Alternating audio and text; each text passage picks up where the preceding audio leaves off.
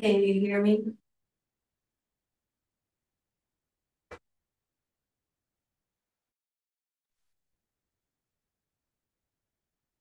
Can you hear me?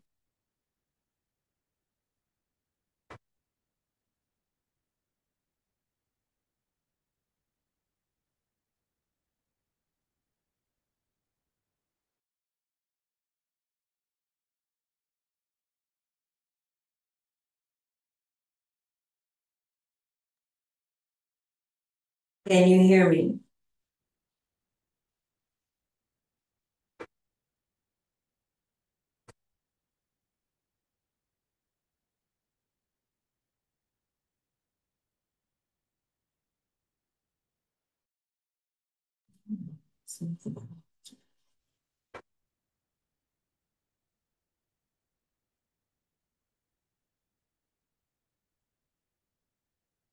Hello?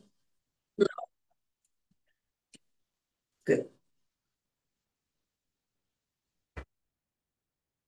Recording. Okay. Um, we just wait a minute or two more, see. Oh, Okay. Oh, Carol, um, Yeah. I need to know. Uh, the PDF that you just gave me, yeah, am I, um, you can share, you've got that as a backup. I can, okay, we're gonna do this. We're gonna go to the share screen. Wait, I remember that, and then I, I can pull mine up from my end, but if anything happens, you'll have it on your end to pull up, okay? okay, and so I go to your name. And click on the three dots and make you a co-host. Yes, So that you can share. correct. All right, so you are now a co-host Yay, and does try for a moment to put yours uh to see if if it pops up Okay. okay. your PDF. mean, Oh, my share screen, okay. Oh, Valerie, is is that hand meaning that you want to say something?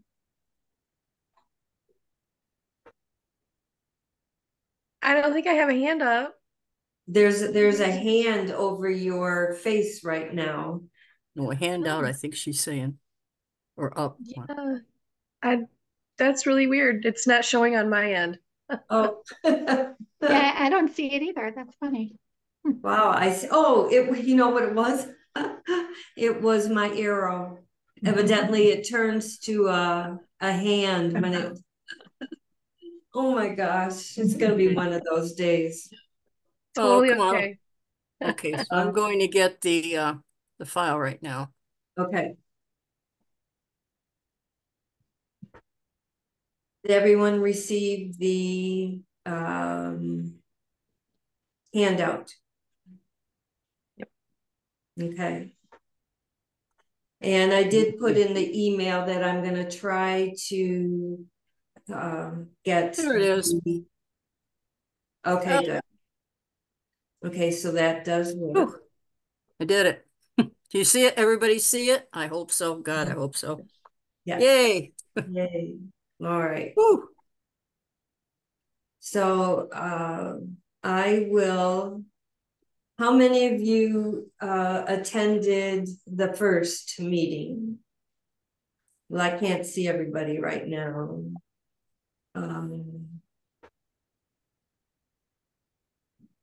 Well. I think what we're gonna do is being that she's got it up. I will continue to let people in as Okay. Carol is talking. So, um. I would say I'm gonna hand it over to Carol. And- Okay, hi, everybody. I can't, Okay, hi, everybody. Thanks for attending and, um, oh, this is, uh, there's a considerable amount of information as you've seen for the people that have had the handout. And again, Valerie, thank you. And Susan's going to be my lifeline too on, uh, when it comes to research, uh, information resources. So, uh, as with the handout, there's a lot of information to cover. And as, uh, Kathy Catone, Mrs. Kathy Catone had mentioned, uh, that part one is recorded. And if you, uh, happen to want to see part one, we're gonna try to make that available. You know, as soon as we can, or maybe a couple days after this, uh, meeting tonight, correct, Kathy? Mhm. Okay. Our IT person had to take a couple days off and go, uh, take care of her dad. So she should be back pretty soon and I will have her put it back on for a little bit. I think they've had it on for thirty days. Oh, okay, I, that was new to me too. So, um, yeah, that would be great, and it's kind of, you'll be able to piece it together, because part one is generally where, uh, how finding out late in life affected me. And boy, it was a learning experience as far as learning new terminology, uh, what you can do, what you can't do, you'll, which you'll see, I basically brought some of the elements from the first one into this one because they do overlap. That's why we've had to do it in two parts. So, uh, moving along, uh, just in general, the subject that we're going to cover, as it says right on, on this screenshot, that uh, the impacts of on adoptees in attaining their original birth certificate, also known as OBC. You might see that in different areas. Uh, for tonight's Zoom pre presentation as of Tuesday, January 9th, 2024, 6.30 to 8 p.m. So again, my name is Carol Bogan. I am what they call a late discovery adoptee, meaning I was never told. I didn't find out until two weeks before my 40th birthday when both my adoptive parents were deceased. So I literally tripped on it. Uh, so with that too in mind, with uh, Kathy Catone, who uh, is also a genealogy researcher. Her T area is Irish genealogy, which I'm going to be making use of her, be it Mhm. now from my DNA. I've noted noted that I have Irish heritage. So I thought, whoopee, now I can finally celebrate St. Patrick's Day officially. So that was one good benefit. So uh so I wish to uh, go through the uh app, excuse me, the slides. Again, there's a lot of information. I am going to break it up for a Q and A session. If you could please, if you have questions as we go along, just type it in the chat box for uh, Kathy to bring to my attention when we have it. If we don't have any, then we'll continue on. If you want to take a bit of a break, that's fine with me. So we just have to let us know, right, Kathy? Yeah. As to when they'd like to take a break. Yeah. Okay, on to, are you guys ready for the journey? Okay, just general genealogy, general informational facts about adoption. Uh, mainly, it's the process where people that um, have children given up for adoption for any re number of reasons at birth, either unwed mothers or they um, can uh, people that can no longer have children of their own decide to adopt. So it's an outlet. And of one of the many different terminology terms that I did learn in this process is called the triad. And I'm thinking that is comprised of the adoptee, the birth parents, and the adoptive parents. So as it states underneath, the reasons for and are not inclusive, if you care to read that, for unwed mothers, as I was mentioning, teenage or adult pregnancies, or it can even be by rape or incest. Or the birth mother and birth father is unable to financially or emotionally provide for the well-being of a newborn child. Childless couples are, as a result of infertility, pregnancy complications, may also want to decide to adopt. And what's ironic too, that uh, they're finding that adoptees, uh, their birth parents were adoptees at one point also. It's- So it's kind of, it, this is a very interesting but complex uh, topic, as I mentioned earlier. So now you decide whether you were, let's take it from the point that someone was told versus someone that is untold about their being adopted. So irregardless of which other uh, framework that you fall into, these are my suggestions. You know, get a notebook, a journal, diary to collect and document your data to be uh, be they positive or negative results. This way you have when you go back and then someday you want to show maybe your children or others what you went through. Okay, have a close friend or family member you can confide in for emotional support and or understanding as you encounter any unique experiences. What it will be is a true roller coaster. You should be prepared for that because it can be very emotional draining and it's not all roses on the other side of the fence. Obtain your non-identifying information, excuse me, from the known adoption agency or from the state of Michigan if currently not available or unknown. There is a handout, in the handout, there is a request form to obtain your non-identifying information. And next point of number four, I cannot stress the importance of documenting your experiences or where you found your information. Should you have to go back and say, well, did I talk to that person? Uh, what did I find out? Do I need to find out more? Was it positive? Was it negative? Should I just maybe stop here, right here and now and not go any further? Maybe wait a couple months. Again, think of it emotionally, even though as much as you want to find out as quickly as you want to find out, you still have to be able to take your time. Oops, sorry. Okay, I strongly recommend like it says, be prepared for the emotional draining. Uh, boy, it was in my case, not knowing it hurt because I had, again, I, I was born in 1947. My adopted father was born 1901. My adopted mother was born 1903.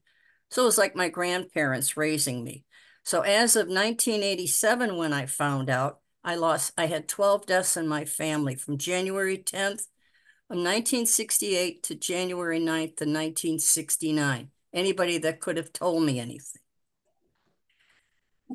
So as it states, I strongly recommend purchasing a DNA kit from Ancestry.com. They are the largest known, and I can attest to them, genealogy database and or heritage.com. There are others like Family Search.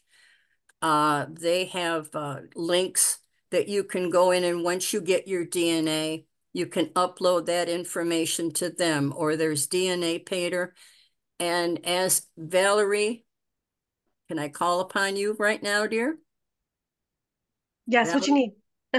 oh, I'm sorry, Susan. I'm hi, Valerie. Uh, Susan. okay. Susan. Yes. Okay, with those DNA kits. Yeah. Are there others that you recommend other than uh, uh, the heritage.com or uh, ancestry.com? Um, okay, so ancestry.com is the one I would recommend first. If people only have money to test with one place, I would definitely test there because they have the largest database of testers. More testers means more matches for you, means more likely to be able to find birth family. Um, you can upload for free from Ancestry to MyHeritage, to GEDmatch, which is G E D M A T C H, and to um, Family Tree DNA.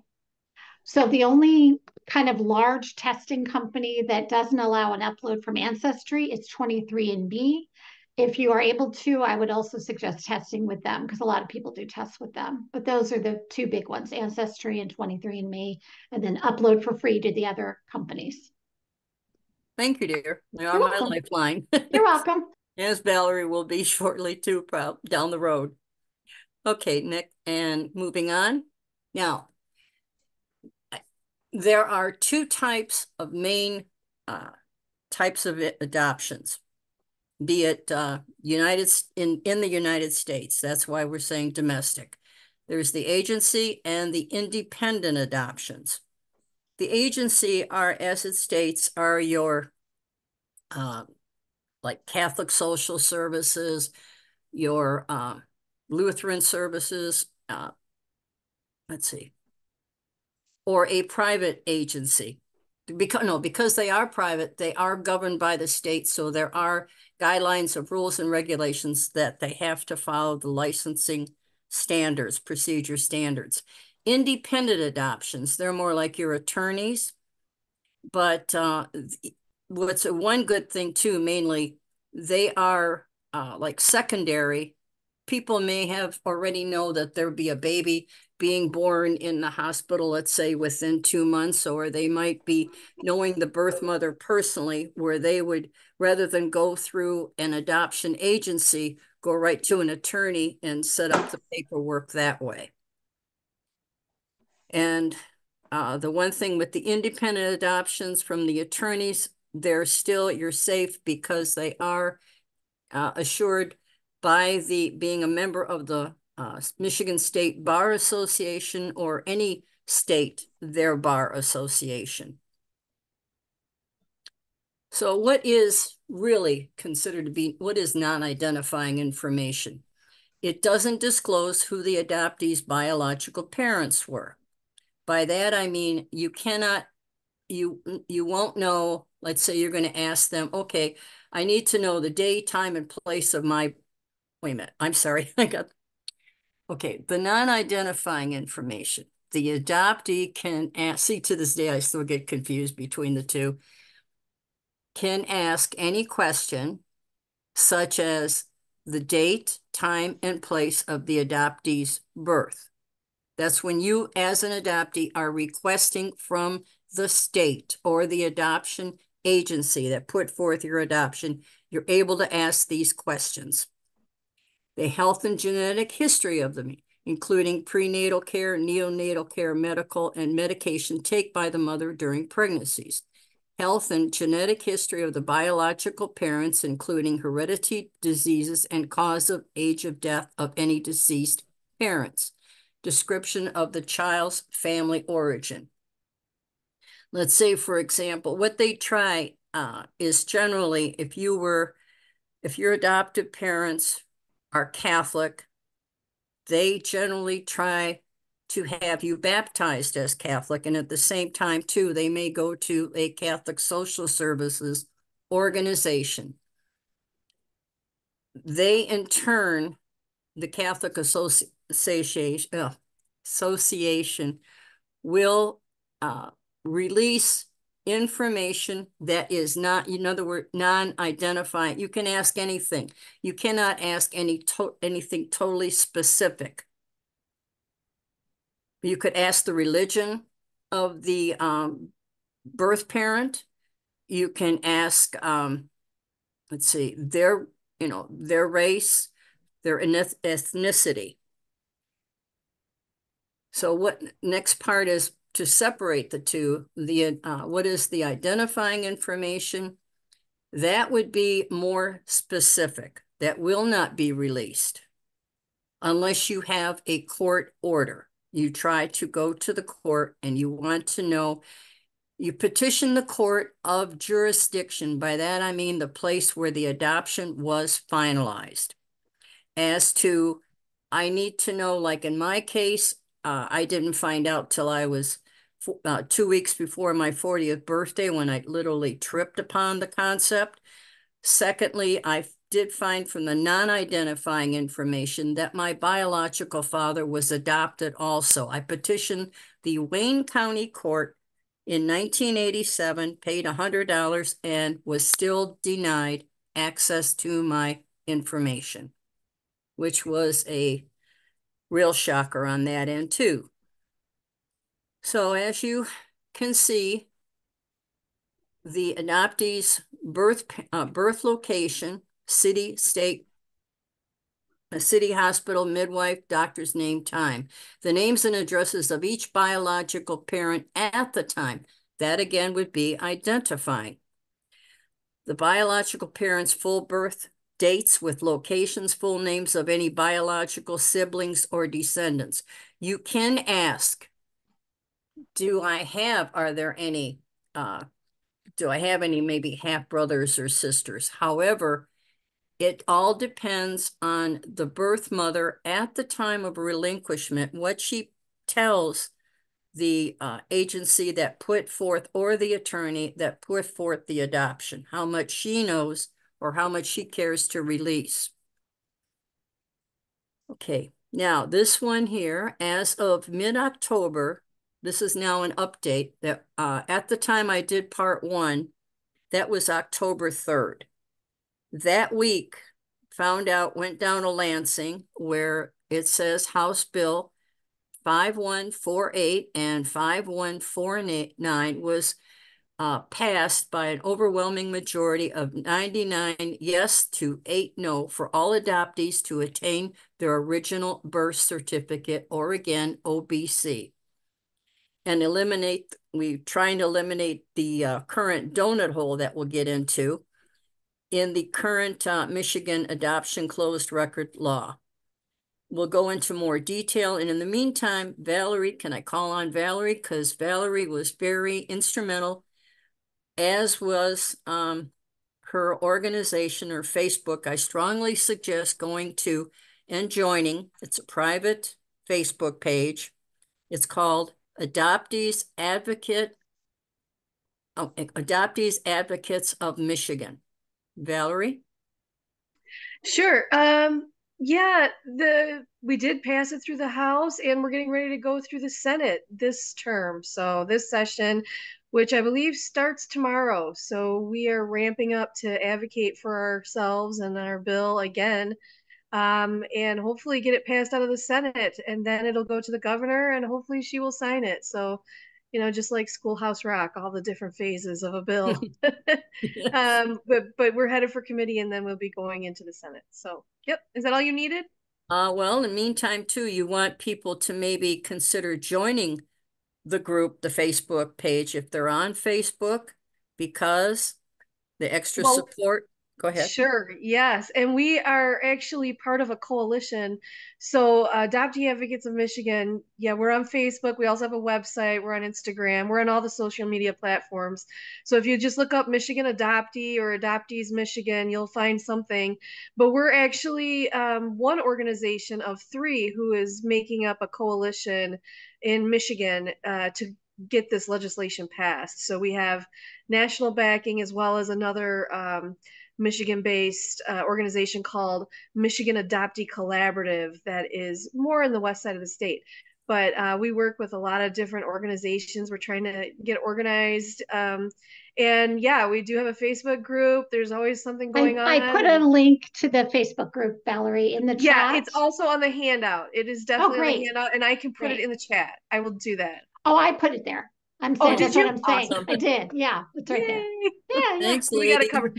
Susan is on our board, and she's an amazing um, search angel, and she helps a lot of our members try to figure out first steps because we do have a very complex system in Michigan. We have um, a donut hole. I will let um, Carol tell you more about all of that, but I am definitely here to answer any more questions. Okay, thank you, my dear. Yeah, oh, one more additional fact too. Uh, tomorrow night there is um on January 10th through Gregory Luce, who is a Minnesota uh, adoptee himself and attorney by law, that helped with the wording of the uh, House Bill 5148 and 5149 for Michigan. Do you, I can you don't, uh, can you have any information on that right now, Val? I know Valerie, you'll be on there tonight, uh, tomorrow night. Right. So uh, Greg Luce, he is the executive director of Adoptees United, and he is also president of Adoptees Rights Law Center, and he is a coalition partner. So he wrote our bill. um, which is really complicated thing to do. And especially with our system being as complex as it is, there was a lot of different parts to it. Um, and it's actually a, what they call a tie bar bill. So that means it's two bills that both have to pass in order for either one of them to pass. Um, Mm. So we get two sponsors that way. And uh, one of our sponsors is Kristian Grant um, out of the Grand Rapids area, and the other is Pat Outman. Um, Grant is a Democrat, Outman is a Republican. So this is a bipartisan package. Um, and we're expecting it to potentially you know, pass this year. Uh, it's looking like it's a good landscape for enacting things like that right now. So we're hopeful. And we will be number sweet sixteen. Yes, and so the pass. exactly we will be the 16th state of 50 to have this law. 15 other states have passed it. Most recently, Minnesota, which is where Greg lives, and um, so when uh, when records all became closed, it, was, it wasn't until like the 30s and 40s. Uh, up until the 30s and 40s, all adoptees could get their information. This whole secrecy thing is relatively, you know, new um, if in the span of time. So, uh, yeah, we're hoping that that it will go back to being open again. When uh, Minnesota and Wisconsin closed the law there, uh, Michigan followed suit. You know, we all just kind of copied each other, and New York was around the same time too. So New York is now an open state for adult adoptees to obtain their original birth certificates. So is Minnesota, as of this summer. Uh, they will finally be open, and Wisconsin is working on things, and we are working on things here in Michigan too. So yeah, the legislative update is tomorrow night, and that's where any adoptee can join and hear about what is happening across the country in adoptee rights. There's a lot of different states that have bills. Some of them are good, some of them are not good. Some of them are actually regressive. So anybody who wants to join that is definitely welcome to do so. One other quick question, Bill. The, um, your group, because I'm still fairly a new member, uh, is that, that can be adoptees, birth parents, adoptive parents, is that correct? Or is it just adoptees? Right. Only? No, we are adoptee advocates of Michigan. So while a large majority of the group members are adopted people, um, there was also birth parents and adoptive parents who support our cause and care about adoptee rights. Um, so anybody is welcome, friends, family, whoever wants to support this for adopted people in Michigan. Thank you, Val, because that's what I, if somebody was just looking at the title, adoptees, that they might think it's just for adoptees. That's what Yeah, I but- wanted to clarify. Sure, sure. Yeah. Yeah, um. Earlier, after I sent the uh handout, someone tried to. Uh, sign up for tomorrow's meeting. And the link did not work. So I don't know, did you copy and paste it or did you type it? Uh, are you talking about? I don't think I provided a link for tomorrow night's meeting. I just provided links to groups. If you're talking about the handout, um, other than that, I don't know. Is there a meeting later tonight? No, no, this is No? not even a meeting that I am conducting. This is a meeting through Adoptees United. They have these quarterly um, Zoom free events that you can attend to find out what's going on with adoptee rights across the country. So, Okay, I'll go back to my email on my phone and. While you guys are talking, see if I can figure out which, which link it was. okay, that'd be great. Yeah. Okay, All right. I'm gonna mute myself.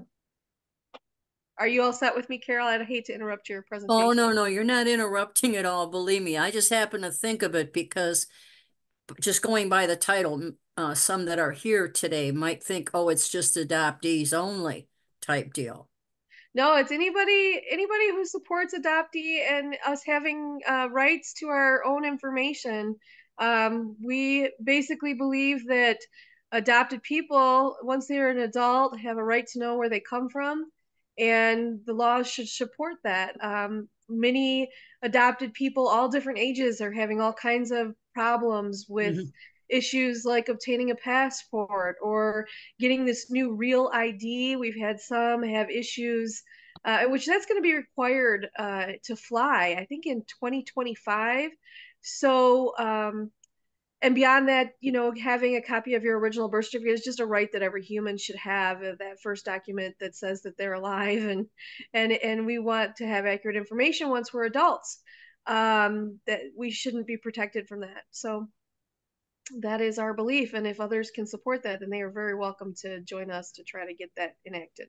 Right, I hope they do, and by going to your site that you will, they will see the Lansing information, there's a videotape of that, there's, there's a lot, there's a world of information on that. Um, Right. Well, and we also have a public page that we're directing people to. Is actually the coalition page. Uh, Oh. Adoptee Advocates of Michigan is just a private group on Facebook, but the coalition page is actually um, representative of all of our groups coming together. And um, I think I put the website for that and the Facebook page and any Yes, you other. did. Okay, super. Okay, thank you, my dear. Sure. Stand by both of you yet. All right. Okay, moving on. Did you happen to find anything, uh, Kathy, you were mentioning, or the link or something? I'm still looking. Oh, Oh, wait a minute, here it is. No, this is. No, not yet. Okay, that's all right. Okay, now, what effect can it have? The effect on the adoption triad? Again, you're gonna, it's the terminology that adoptees learn over time from day one, pretty much like I did myself. And especially when people would say, you know, your mother and I was, because I was split. And during the time of learning it, I would say, well, which one? You know, it was, it was this tennis match in my head that I always had to play and try to decipher what people were saying. So the biological uh, birth parent, mainly the birth mother, she, as I found out through when I did meet my birth mother, and she lives in California at the time, that the guilt and shame that they carried, again, because for that time period, being again, I said I was born in 1947 and she was born in 1929. That and being Catholic and the my biological father again himself being adopted and being a protestant so religious wise that wasn't a cool thing. She was really shunned and uh shamed. So uh the other uh thing with the biological parent a birth parent merely this is information from the birth mother that i have gathered from how my birth mother felt and it, over time i discovered how that seemed to be a common thread with birth mothers that uh, they may have tried to keep the newborn child by having a sibling or family member adopt so she could still have an indirect contact with the child in my case, uh, I did find out that my birth mother came from a family of nine. So, as I mentioned earlier, on one end, on the adopted end, I lost 12 family relatives in one year to the day. And then all of a sudden, again, part of this tennis match, now I come from a family of nine. I have all these aunts and uncles that I lost, you know, knowing prior years since 60, 1968, 69. So she, my birth mother, her name was Margaret uh, Nowicki Wilson. And at the time, uh, she wanted her sister, Virginia Marie, who I am named after, to possibly adopt me because she, her, her uh, sister, Virginia Marie, could not have any children. Thought, wow, that's the perfect setup. So what happened just oh, about two weeks before the signature was supposed to be, and the ink had not dried on the paper, my aunt, uh, Virginia Marie, my mother's sister, that uh, mentioned, oh, by the way, and she couldn't get pregnant. Ironically, she found out she got pregnant. So when Nadine was born, who was would have been technically my cousin, maybe possibly half sister at the time, I said, "Oh, that's going to be interesting. How are we going to express how you're four months younger than me? You know, you've heard of twins being a couple hours different, but not kids being uh, four or five months difference in age from the same mother. So the other thing too, back then, this is the archaic time period. Meaning uh, the social mores back then, where everything was swept under the carpet. The birth mother was told not to look for this child ever. Don't even think of it because you're giving up a baby for adoption and it's the best thing you could have done for the kid. Its future, which most likely was at the time. But the way they stressed and em emphasized thinking that all what she went through for nine months and then all of a sudden it's like it never happened according to them on paper that's where the guilt came in did i make the right decision even though there had to be some way i could keep her meaning me okay a lot of birth mothers hope secretly in their heart that the child once it becomes an adult would search and hopefully reunite for her to have that personal closure my birth mother had Margaret had told me that uh, she, this was a phrase exact a statement right from her. In fact, she told me on my birthday that she used to light every birthday from the time she gave me up. She went in the church and lit a candle for me in the hopes of me finding her, even though I was in Michigan, born in Michigan, and she's out in California, which doesn't help either, you know. So, and then a lot of times she also told me and wondering, you know, is she, am I alive? Is the is the child that I gave up, are they alive? Are they dead? Do they even want to do they have any children now? Do they even want to think of looking for me? Maybe I did. It's just their internal restlessness was uh, just continues. It seems like until that they can get some type of closure. But then again, depending on the situation, maybe uh, the birth mother was raped, so that or incest. So for sure, it's way down the road. Or perhaps she hadn't even told her own family that she had a baby and had to give it up for adoption. So she carries that extra load. Okay, the adoptive parents.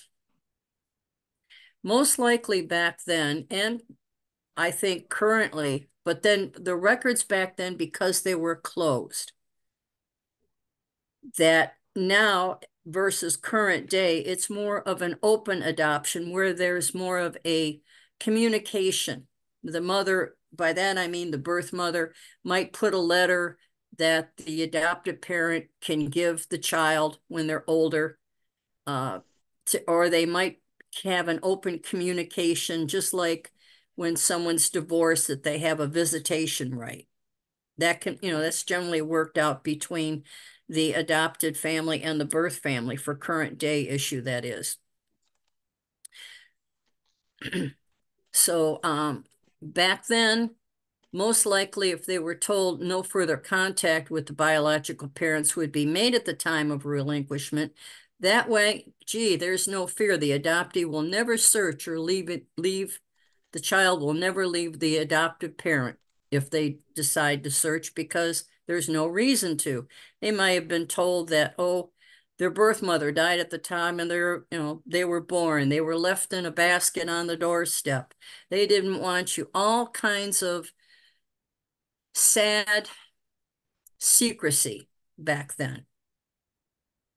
But with the DNA, and I know Susan can attest to this, that a lot of it is now you can hide it under the carpet, but you can't totally sweep it under the carpet. It'll, it will surface one way or another.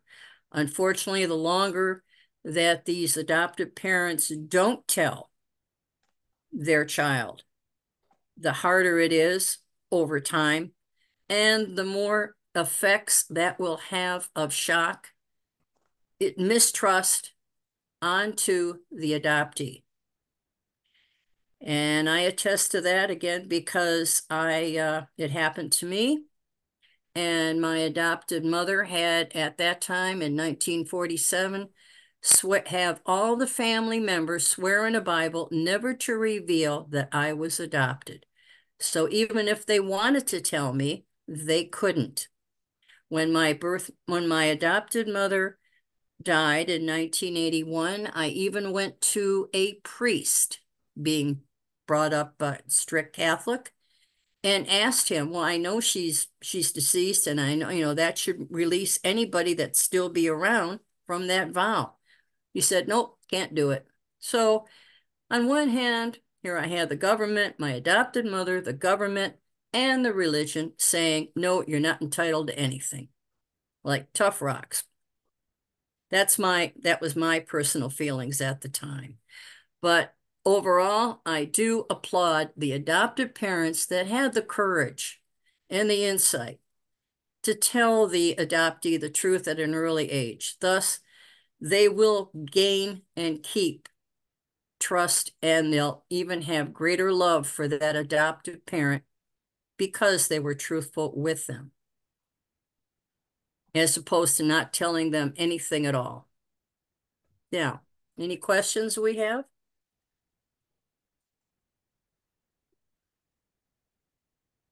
You're uh you're muted, Kathy. Catone, you're muted. You're muted, Kathy. Unmute. Oh no.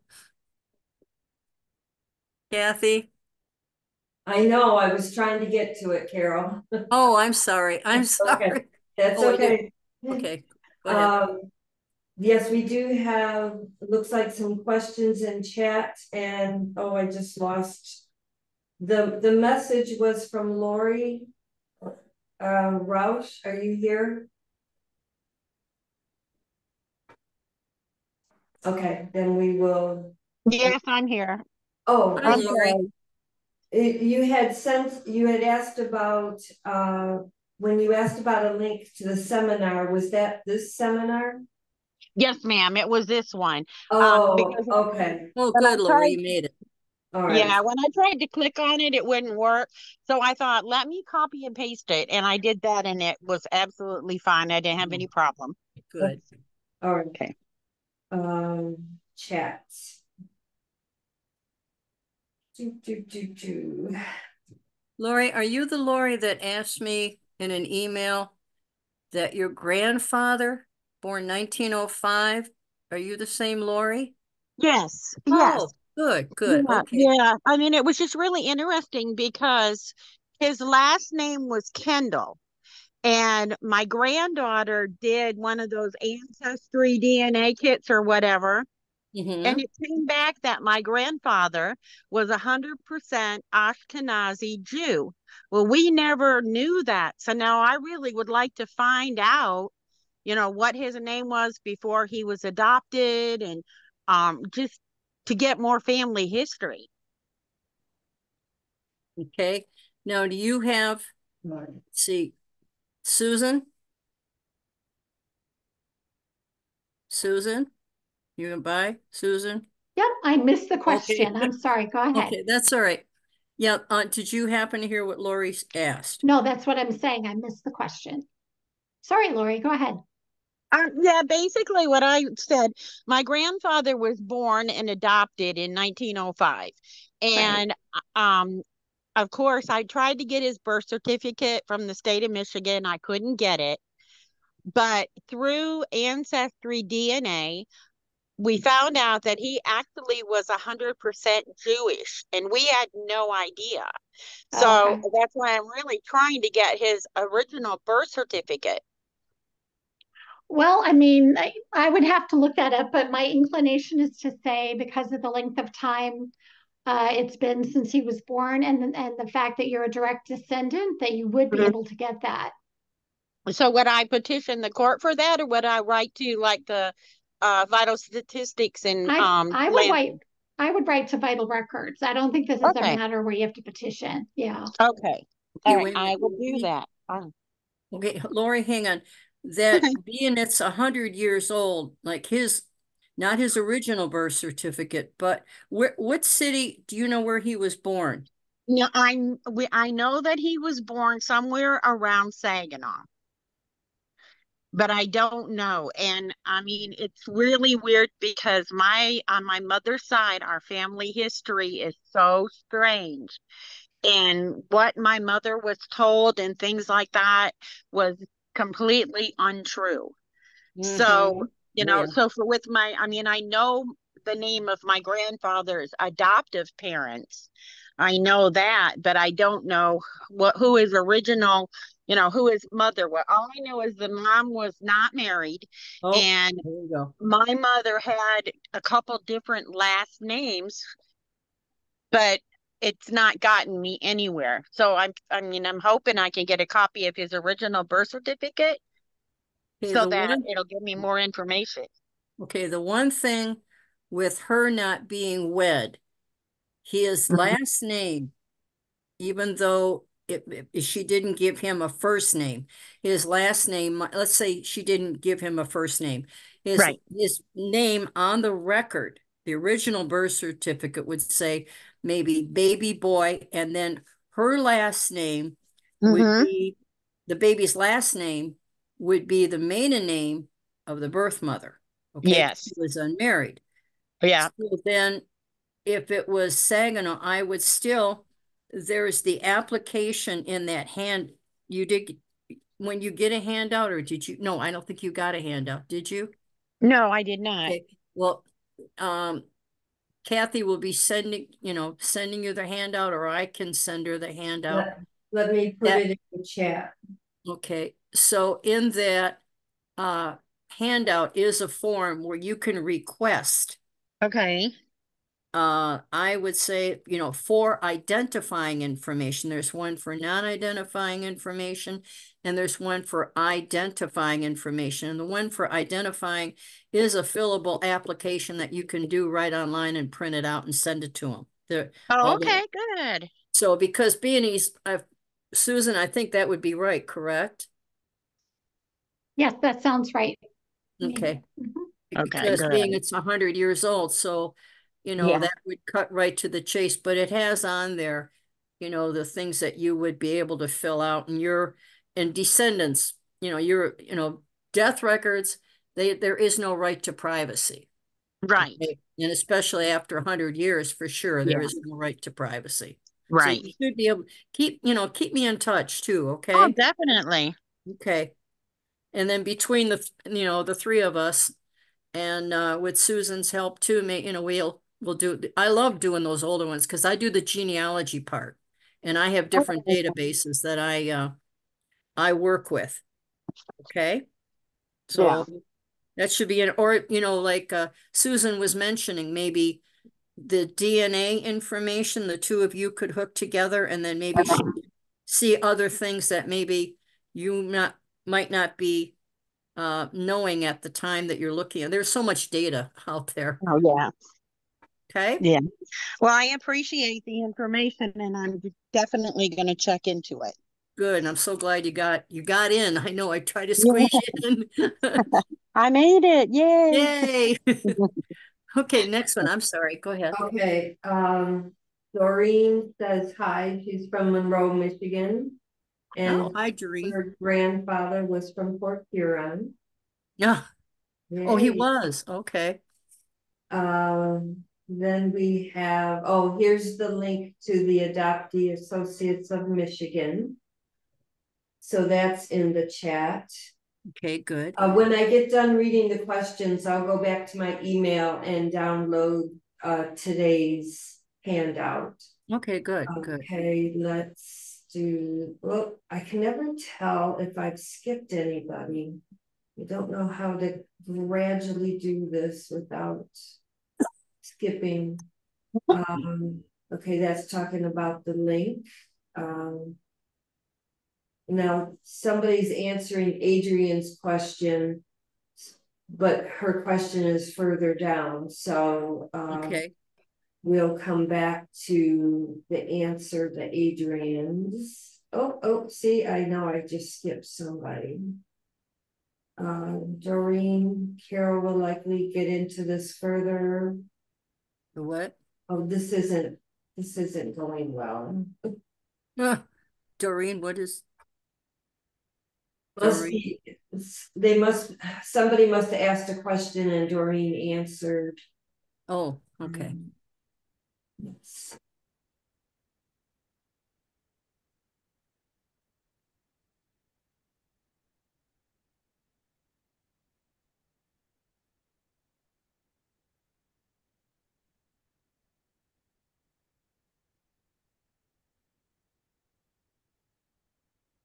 Right.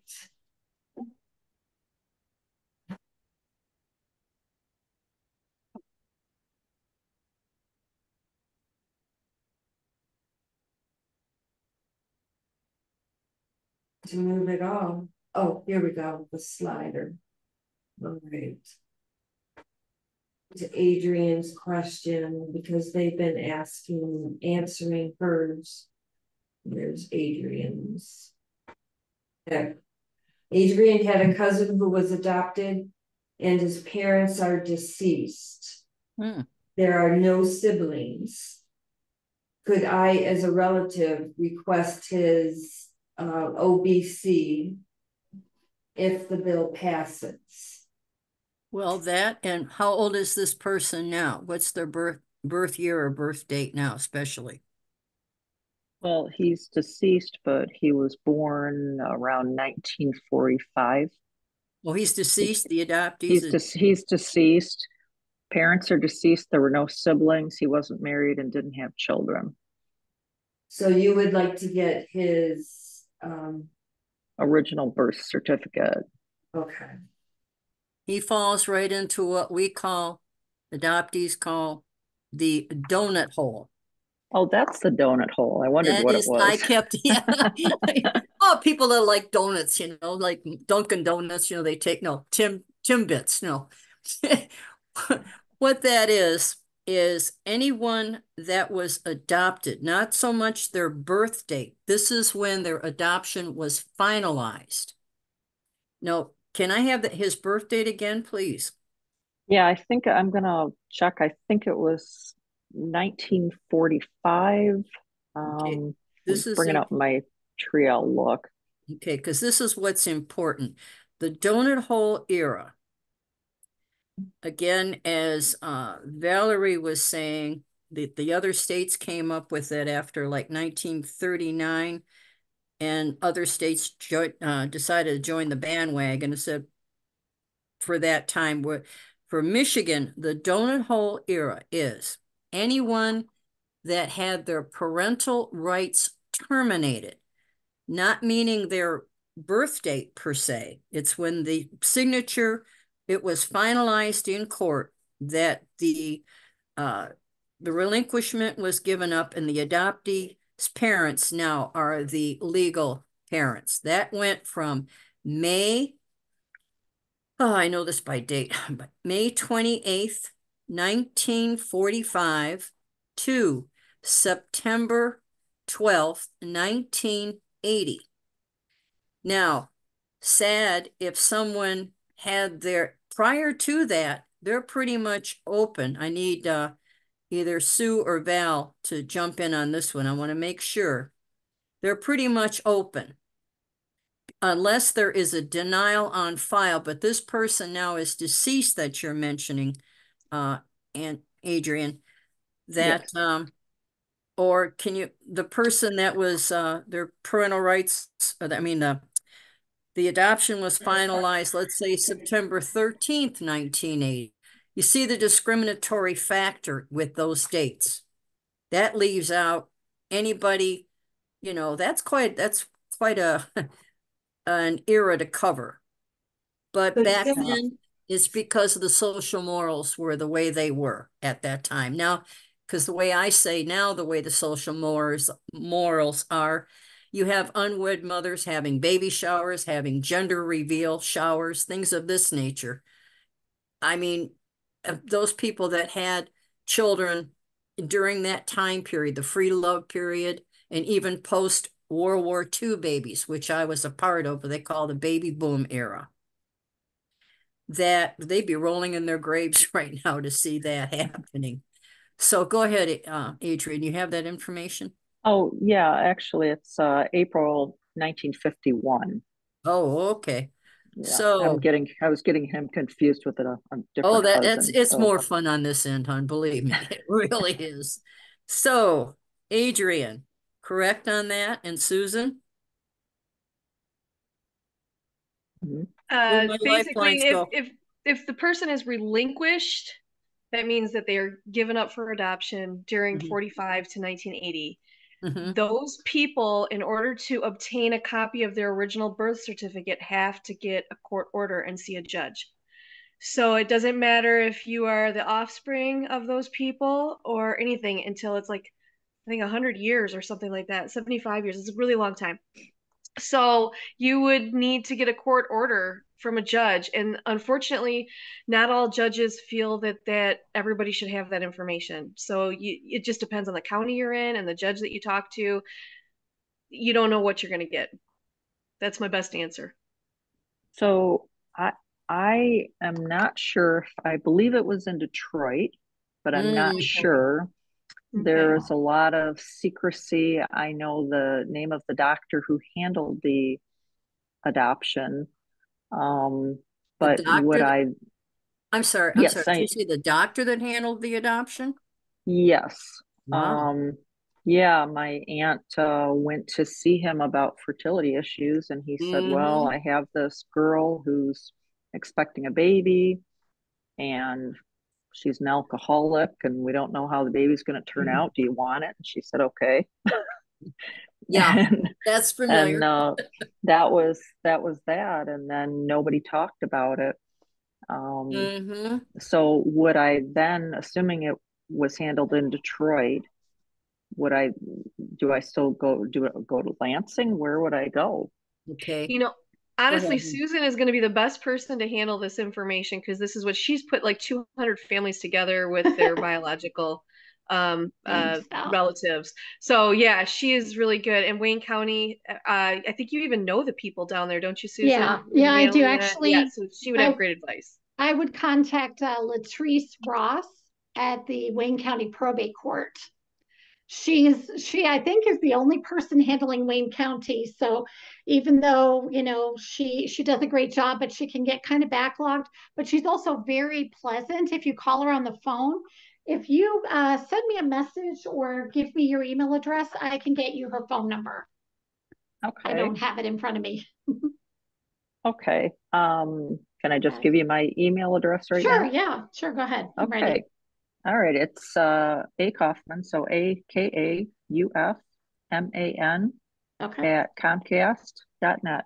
Okay. All right. I will send you information about Latrice Ross, and she's the person to talk to at Wayne County. All right. You Thank you very Very nice. much. Yeah, you're I can, welcome. at- I can attest to Wayne County. When I went before the Wayne County uh court judge, the probate judge is the juvenile division of the probate. When I went before her, and I thought at that time in nineteen eighty-seven, being that I was uh, a late discovery adoptee and that my biological father was adopted also, being I had no true medical history, uh, you have to present a valid reason. Just wanting to know is not, it's not going to cut it with them. I'll just put it in plain, you know, plain terms. So after I got done presenting my side of the story as to my reason, the judge took her gavel and hit it and looked at me and said, denied, next. And I'll never forget standing there. I had paid a hundred dollars, took the day off work, and I'm thinking, okay. Then she just went next. So it all depends again. You've got to think back in terms of that time period. Now that 50 years practically has passed, 40 to 50 years, things are a little different. And even if you went, like, say, at my age, like I'm 76, I'm still denied my original birth certificate. Okay, because if there is a denial on file, which I have to, in my spare time, figure out, let them, you know, tell me if there's denial, because I did, I did find my biological parents, which you'll see in the next couple slides, on my own. Good old gumshoe detective, no computer in 1987 to 1995. Okay. So that um, has got me more going strong to get these people. That's my bucket list to get my original birth certificate. Okay. I like to have it in my hands. I know I'm real now because I did meet my biological parents, but it's the paperwork that makes it legit for me. So, um, yeah, I, am sorry if I'm pausing on that. It's just I'm reflecting at the time, but it hurt. It was just uh, from one traumatic incident to another. It just kept going on and on and on. So when's this going to end? So I am so pleased to be a part of this group and find out that finally something is going to be done and hopefully that it will pass for all adoptees to get their original birth certificate. Doesn't matter what year, especially it's up to them. Do they want it or they don't? And when you want it, you know, be nice to have. So that that okay. Next question. Okay. I'm sorry. I have- reflecting. I have a, uh Kathleen in the room with me and she would like to ask a question. Okay, go ahead. Hello, yes, um, I'm looking, my brother, um, had a set of twins, which I'm not sure. Uh, I believe it would have been probably nineteen fifty-eight, he would have been maybe sixteen, but it's in Flint. So Genesee County, how would you do that when he's already dead? How would I go about doing that? Because he's dead and I don't think, I don't know anything where the mother is. Do I have a chance in trying to get that birth record? Huh. Oh, I don't think so at this point, but what. I think, um, I would suggest, this is just my opinion. And then I think, you know, if Valerie or, um, Susan can chime in on this to make sure I'm on the right track. I would still approach or have something in writing. You, you don't know for sure the county of jurisdiction where the adoption took place, right? Yeah. Oh, Oh, you do know- County. Pardon, I'm, oh, I'm sorry, Genesee County. Yeah, you did say that. I'm, Yeah. hey, I'm seventy-six. I got a good reason for being, no.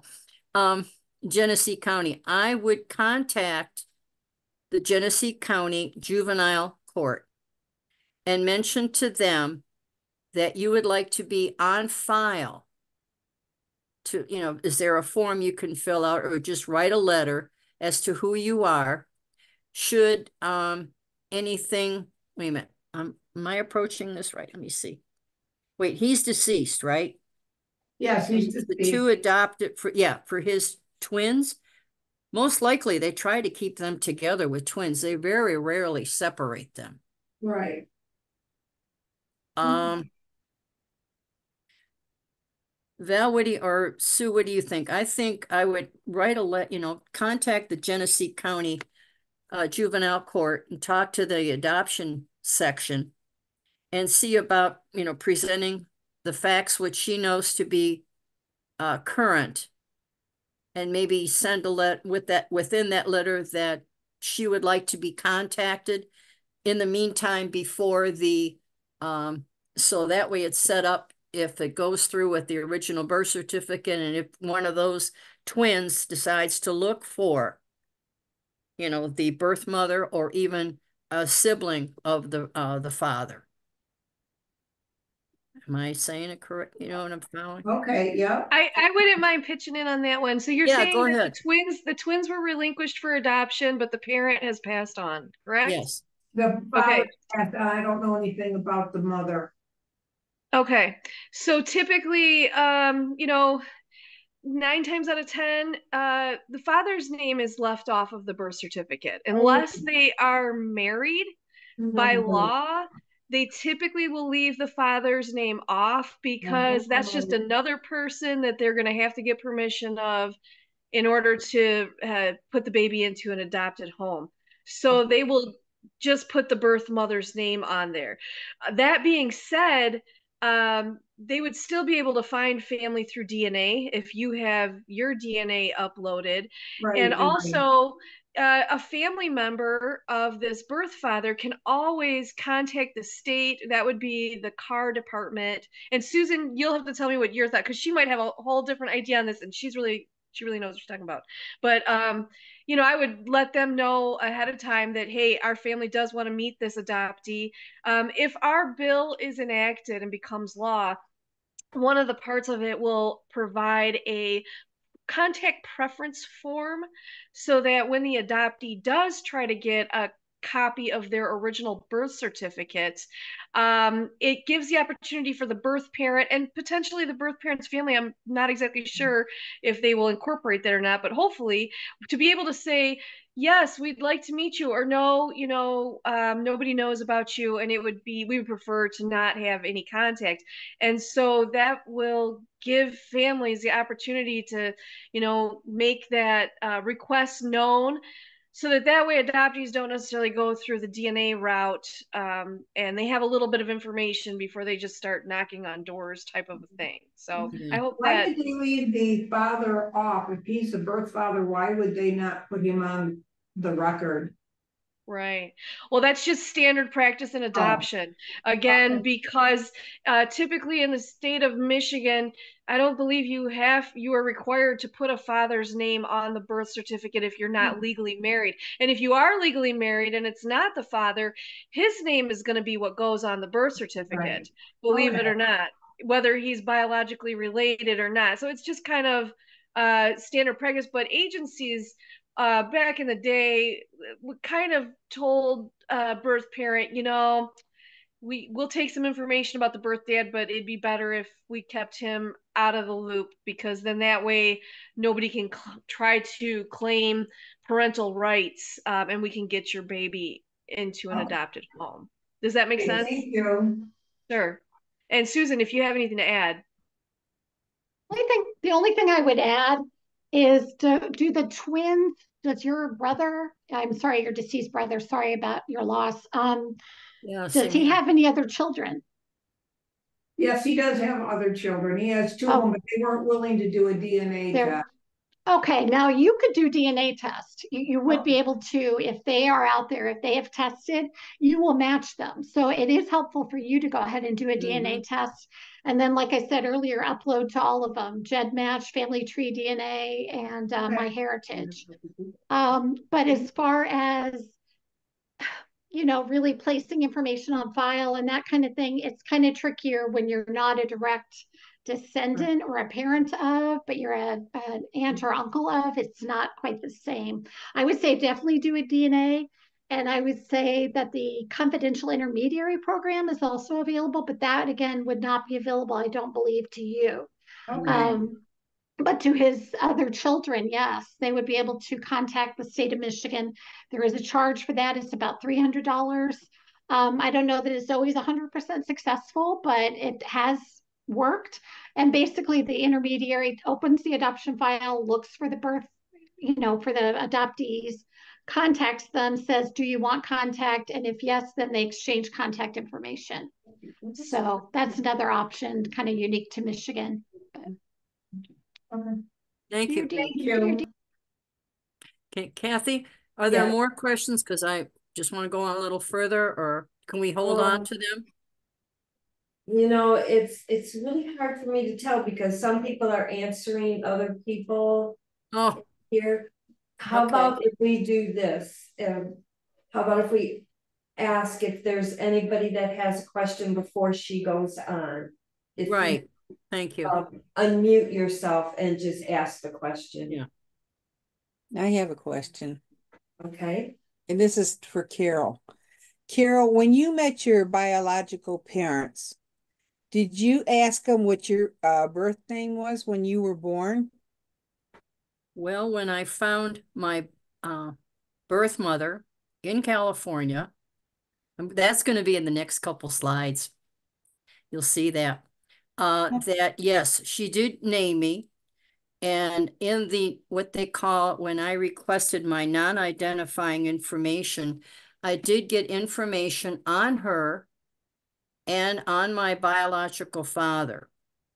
When I met her, she mentioned, gave me his name, which confirmed information that I suspected with through an obtaining initials by uh, what they call a uh, well, kind of not really deceptive, but they call I played a cagey game with the with the government. Okay. You know, by playing dumb, I found out more information. Gee, I didn't know that, you know, but indirectly I do. And it got to them to spill more because again, like I was saying, I did this in 1987. when there was no computers. It was just gumshoe detective and just uh, running on gut intuition. Okay, I was wondering because somebody I knew found out exactly who her birth parents were hmm and her name that was given to her at birth. She went to the place she was born at, the county, Yep. and applied for the birth certificate and she got it. oh, And they didn't know that she was adopted, but she got the birth, the original birth certificate with all the information. that's because she had the name. Okay. I didn't have a name until after I met my birth mother. But by having that name, that helped confirm other later information that I got through the DNA. Okay, well, she did have her um adopted parents' name when she did all this because uh she had the names of the uh, you know, adopted parents and she had that birth name, but somehow I guess she went and said that that um she'd been married at the time, or no, she wasn't married, but Oops. I forget what she had said to him, but they actually they actually gave her the birth certificate right Ah. there and didn't have any questions about no adoptions or anything. And Uh-huh. she she Uh-oh. used her name that she had on the birth certificate. Uh-huh. So they accidentally gave it to her. and I- So Aren't, Okay. aren't birth certificates of adoptees um flagged in any way so that the workers would know? Good question. Indirectly, they are because it'll say amended, it'll say birth, wait a minute, registration of birth. On a uh, non-adoptees, it will say somewhere in there, it will say live birth. Also, how I got tipped off when I went to get my uh, birth certificate at the time in 1987 that you'll see on this upcoming slide when I'm talking about how I was tipped off to begin with. And I'll take you through that process as much, you know, from step one, from step A to, to pretty much when I found her and him, and I found them both. Okay, So give me, go ahead, hon. anybody else have anything? Somebody's got their hand up. I don't see I the have a name. question. I do. I don't know. Go ahead. I'm sorry. Go ahead.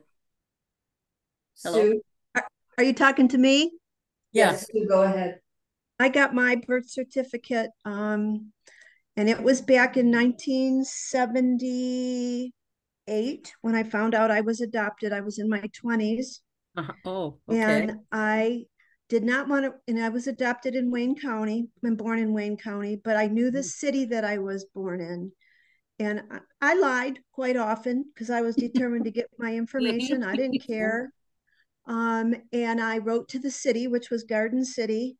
I told them my birth date and a couple versions of the last name, which I thought it was. I didn't know how it was spelled, and they sent it to me Ah, and I was lucky because Uh-huh. obviously they were not supposed to. But you can always hope for a clerk that doesn't know what they're doing. right, exactly.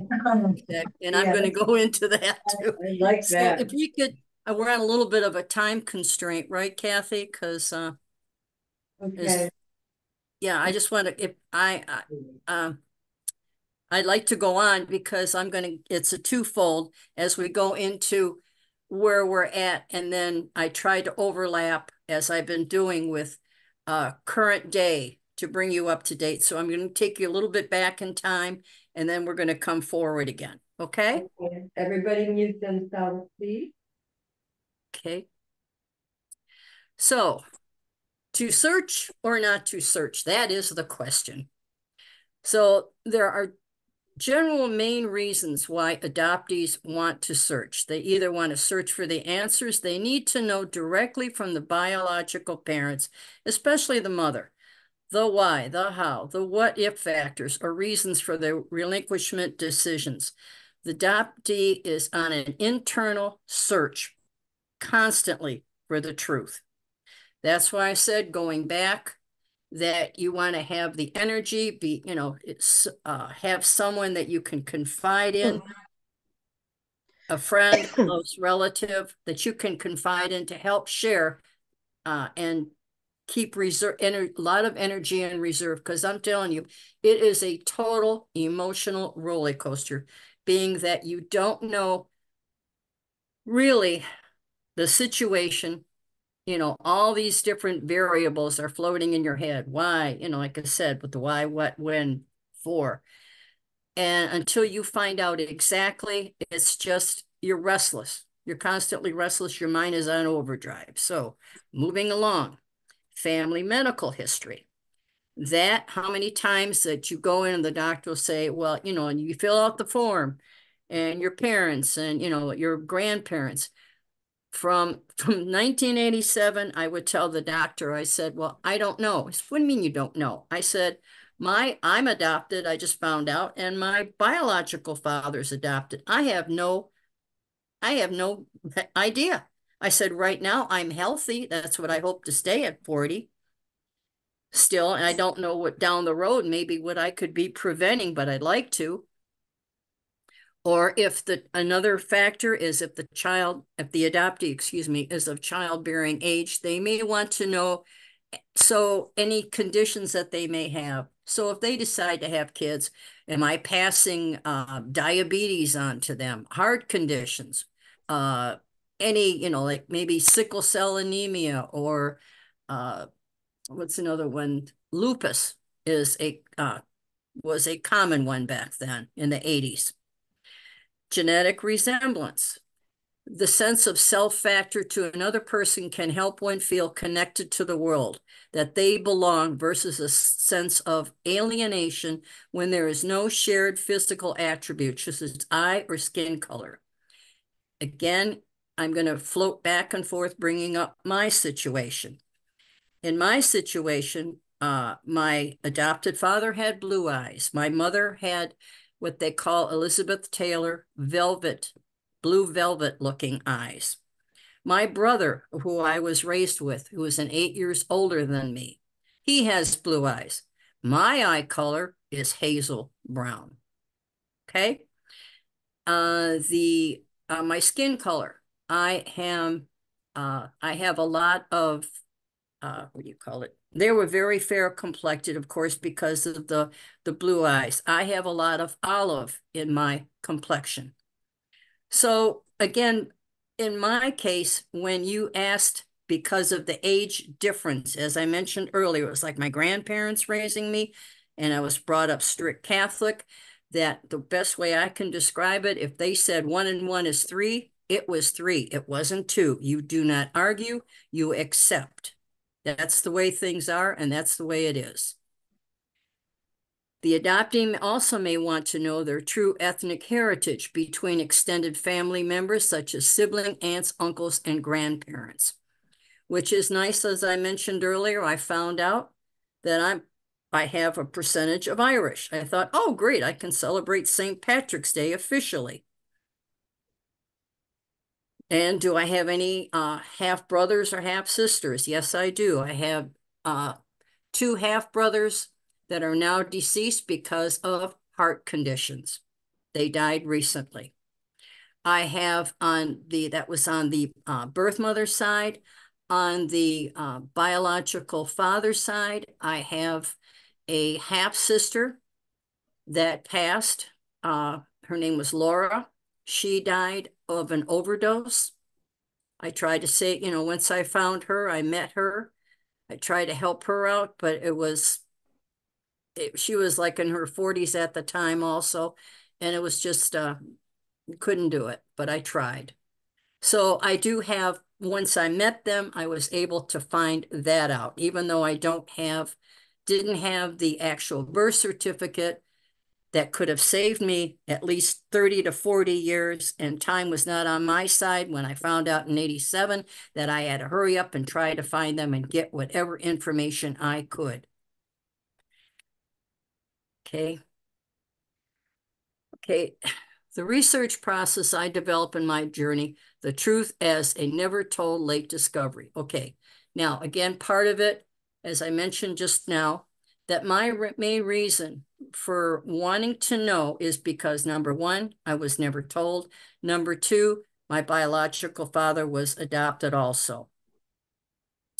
And my reason for getting my birth certificate, going back to your, you know, your earlier, someone's earlier question, that I wanted to know the time that I was born. Back in the 80s, the big thing was get your horoscope done. Well, I'm 40, so I'm half life. I'm halfway through my life cycle. I would find, gee, what's what's being predicted for me?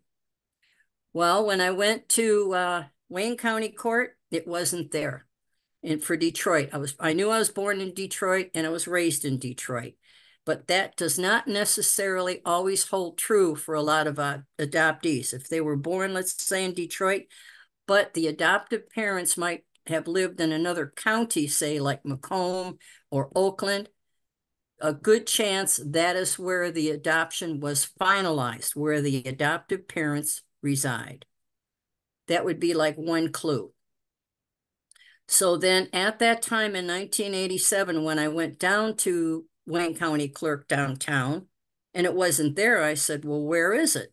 They sent me to Herman Kiefer Hospital because they divided up uh, the birth and the death records for Detroit and send it over to Herman Kiefer Hospital because of the work overload. So I went there and the gentleman said, no, I'm sorry, you're not here. I said, okay, now wait a minute. I said, you hear about these people going before a judge to prove they're alive. Now I now I really got to have my birth certificate. So I asked him, I said, now what do I do? And he said, okay, you got to fill this form out. I said, and send it to the state. I goes, well, how long is that going to take? Oh, anywhere between eight to 12 weeks. I said, really? I got in my car and the next day I drove down to Lansing. So when I got my quote unquote birth certificate, it was the size of a four by six piece of paper.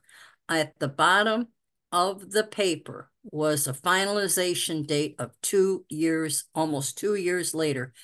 That's what tipped me off because I saw the gentleman before while I was waiting in line that was born the same year I was, two weeks prior to in 1947. He was born in August, the end of August of uh, 1947.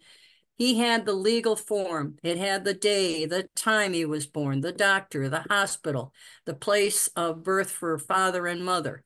On mine, that little four by six piece of paper had father's name. Yeah, that was right. Birthplace of father, unknown. Mother's name, birthplace of mother, unknown. I'm going, what the heck is this? You know, so I asked the gal and I said, uh, I said, is this how, you know, I said, this is just this little piece of paper I get. And she goes, oh, yeah, that's how they did things back then. It was meant for me to see that gentleman's birth certificate. Okay. So she turned uh, the phrase, it was like from that moment on, there was like somebody sitting on my shoulder that whispered in my ear, said to ask her that I asked her, and I, honest to God, to this day, how it came out of my mouth, I still don't know that I asked her, I said, Would I get this form if I was adopted? She was a very fair complected lady with uh, blonde hair, and she turned 80,000 shades of red. I looked at her and I said, Oh, you just answered my question. Thank you. So now I'm driving home from Lansing. I'm going, Who the heck am I going to ask to confirm this? Because I mentioned earlier I had those 12 deaths. Well, here we go. I'll be going into that. Okay, so how do you start looking when you don't have any information? What I did at that time, I was living in Macomb County. I contacted the Roseville Library, and they at that time there was an agent, an agency for adoptees, and what they that's where I learned the term the triad, again for adoptee, birth parents, biological parents. It was called AIM. It was called I, Identity AIM equals Adoption Identity Movement. It's now no longer in existence. I, it's a lot of them have gone defunct, but I guess through time, uh, a lot more people are going online, like say Facebook pages that I'm finding to get more immediate answers. At that time that I joined in October of 1987, the group. That day, there was a woman on the board. She said, I wear two hats. I am an adoptee and an adoptive parent. And I told her, I said, hey, I just found out at 40. She goes, she started, she said, you think that's bad? She said, I just found out in uh, when I went down to get my social security when I turned 65 because she turned in the form, like I said, that small little piece of paper that I had was given. She turned that in as always, she thought that is her quote unquote birth certificate. The uh, gal, the secretary said from the uh, social, uh, the uh, social security department said, that's your adoption. I need your actual birth certificate. She goes, what are you talking about? She found out at 65, okay? So, and then she still was not entitled to her original birth certificate. So what I did, I thought, okay, and they told me, as I said earlier, that I did contact the Wayne County Juvenile Court for my non-identifying information that the advice that AIM gave me. You can always request your non-identifying information. Mine came just before Christmas. So again, as I've been stating that it's when you're to an adoptee, you learn a whole new form of communication, of terminology, and it's a tennis match in your head. And then you're trying to sort out, sort it all out. And then you say, well, wait a minute, whoa. Sometimes you got to stop and then pick up the pieces, but it, it can be so overwhelming. So when I read my non-identifying information, this is what I was able to put out. I mean, receive, I'm sorry. So the birth date was correct. The weight was seven pounds, 14 ounces. I was told by my adopted mother when I one time asked her, when was I born? I mean, how much did I weigh? She said, oh, you were such a tiny little thing. You weighed only barely five pounds. I thought, okay. So uh, that's a lot far cry from what I saw in, in uh, on paper. So from what I was given, this information, you'll see, it gave me clues. You have to look at it and then, you know, put it aside and then say, okay, I know this non-identifying information. I've got this. Now what do I do? So this is my approach. These are suggestions I'm going to tell you. So I learned how to comprise a family tree. That's what the Roseville Library told me. Well, let's help you with a family tree because even though I didn't have names, I'm going to start with my adopted family because I never met any of my adopted father's family, thinking that maybe one of his relatives might have, you know, adopted me because that was very common practice back then because of the post-war baby boom. So uh, at that time, what was available was the 1900, the 1910, and the 1920 census. So when I did, I looked him up and I found him. I found, I knew his adopted, uh, my adopted grandparents on my father's side. So I'm seeing these names, Jadwiga, Hedwig, Ida. I thought, oh my God, he had all these sisters. And then I'm thinking, wow, what happened? I never met them. Well, it turns out they're all the same because they became Americanized for the name Helen. So I thought, okay, this is what I strongly suggest to everyone. Once you receive the non-identifying information, if it starts with uh, anything on the birth mother's end as far as giving an idea of how she how old she was at the time you were born. You create a timeline and you form that with and then you start plugging in say okay, I know that she was born uh she was 17 years old at the time I was born in 1947. So here it is again. Um so what I did, I would say, okay, I can figure it out. She was born in 47. I, I, was born in 47. So she had to be born, I was born September 4th, 1947. So for her to be 17 or going into 18, she had to be born somewhere between September 3rd, 1928 to, I mean, uh, September 4th, nineteen twenty-nine, based on her being born in twenty-nine and eighteen years old at the time. The birth city was not given because, again, that's considered identifying information. When I started do the, doing the genealogy, I found out that the Wayne County Legal News is on microfilm down at the library. So as I have it here, I started looking for, it had it separated, boy babies born, girl babies born.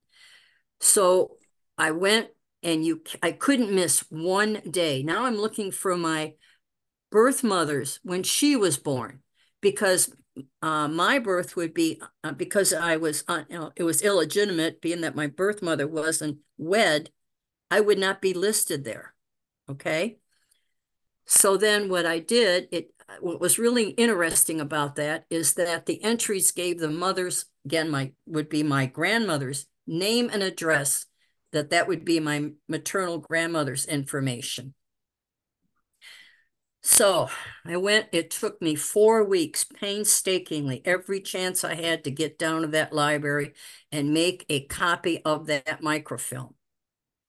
So then the next thing I did was taking the, at the library, looking in the city directory for the hospitals that were around at that time in 1947. There wasn't that many uh, hospitals. There was maybe 10 that would be the Detroit metro area. So I had a feeling that, as I said here, I did a process. I just started right with this one. It was really weird how it came to me because I figured, well, that's downtown. That's in the center of all, everything because all the other hospitals were outside that uh, location, like Deaconess, um, what is it, Hutzel Hospital, Receiving Hospital, uh, Providence Hospital. They were all within a 10 to 20 mile radius. So when I called the hospital, it turns out I talked to the administrator and he went and looked it up. He got back with me and he said, you're here, your information's here. I goes, what? I said, you're kidding. I said, well, then I thought, well, gee, what's, you know, I let him try to see it like the same thing, see he'll let slip up as to what their names are. He said, no, I'm sorry, I can't tell you that. I said, look, I said, it's going to be Christmas time. I said, can you at least give me, you know, initials. That way I can make up my own name just to have something. MN and CS. Okay. So he told me MN was uh, the, the mother side and CS was the father. I thought, whoa. She there I the birth father's name was listed. Wow, okay.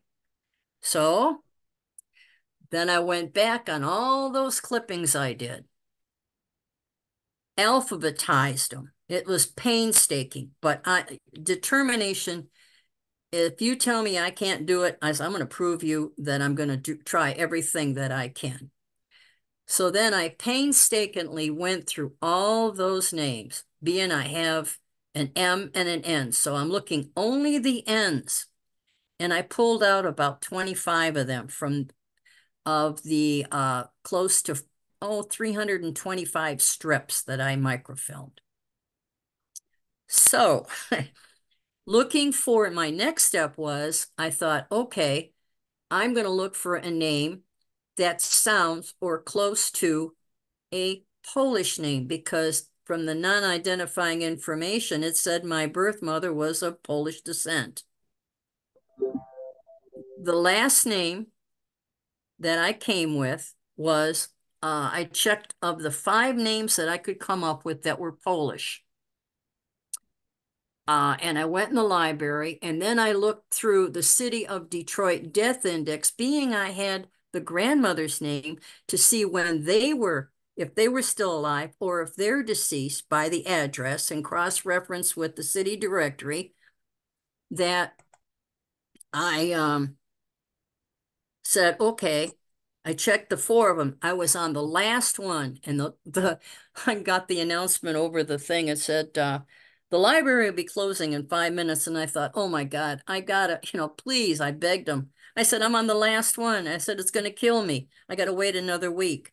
So then they told me, okay, go ahead. So then I started looking, looking for the death notice, looking for the death notice. Okay. Well, guess what? There it is. I was told my mother came from a family of nine. So now I have the descendants, their names. Okay. What happens with a gal, right? She gets married. So therefore the name changes again. Okay. so then I'm looking through the list. What I would do is look through the list and I'm looking through an uncommon name. This Esther P A C H, right? Took a current day phone book, found Esther Pock, called her. Whoops, I called her and uh, we'll leave it at that right now in a quick because we have to, oh boy, time constraint. Uh, you'll see the picture of that. That's the only picture I have of my birth mother. I can tell you this. I inherited from the waist down. I am uh, long-legged, but the big hips. She had she had large hips, and I I you'll see in a few that um, I gained that from her. So from that, you see now I have all these aunts and uncles. I have I'm thinking, my God. So then I'm counting one, two, three, four. And she said she's was the sixth. They gave me the order, the sixth in a family of nine. Guess what's here? It says Margaret Wilson. But okay, but Margaret Nowicki Wilson. I was given that initial of MN. That's why I said, I gotcha.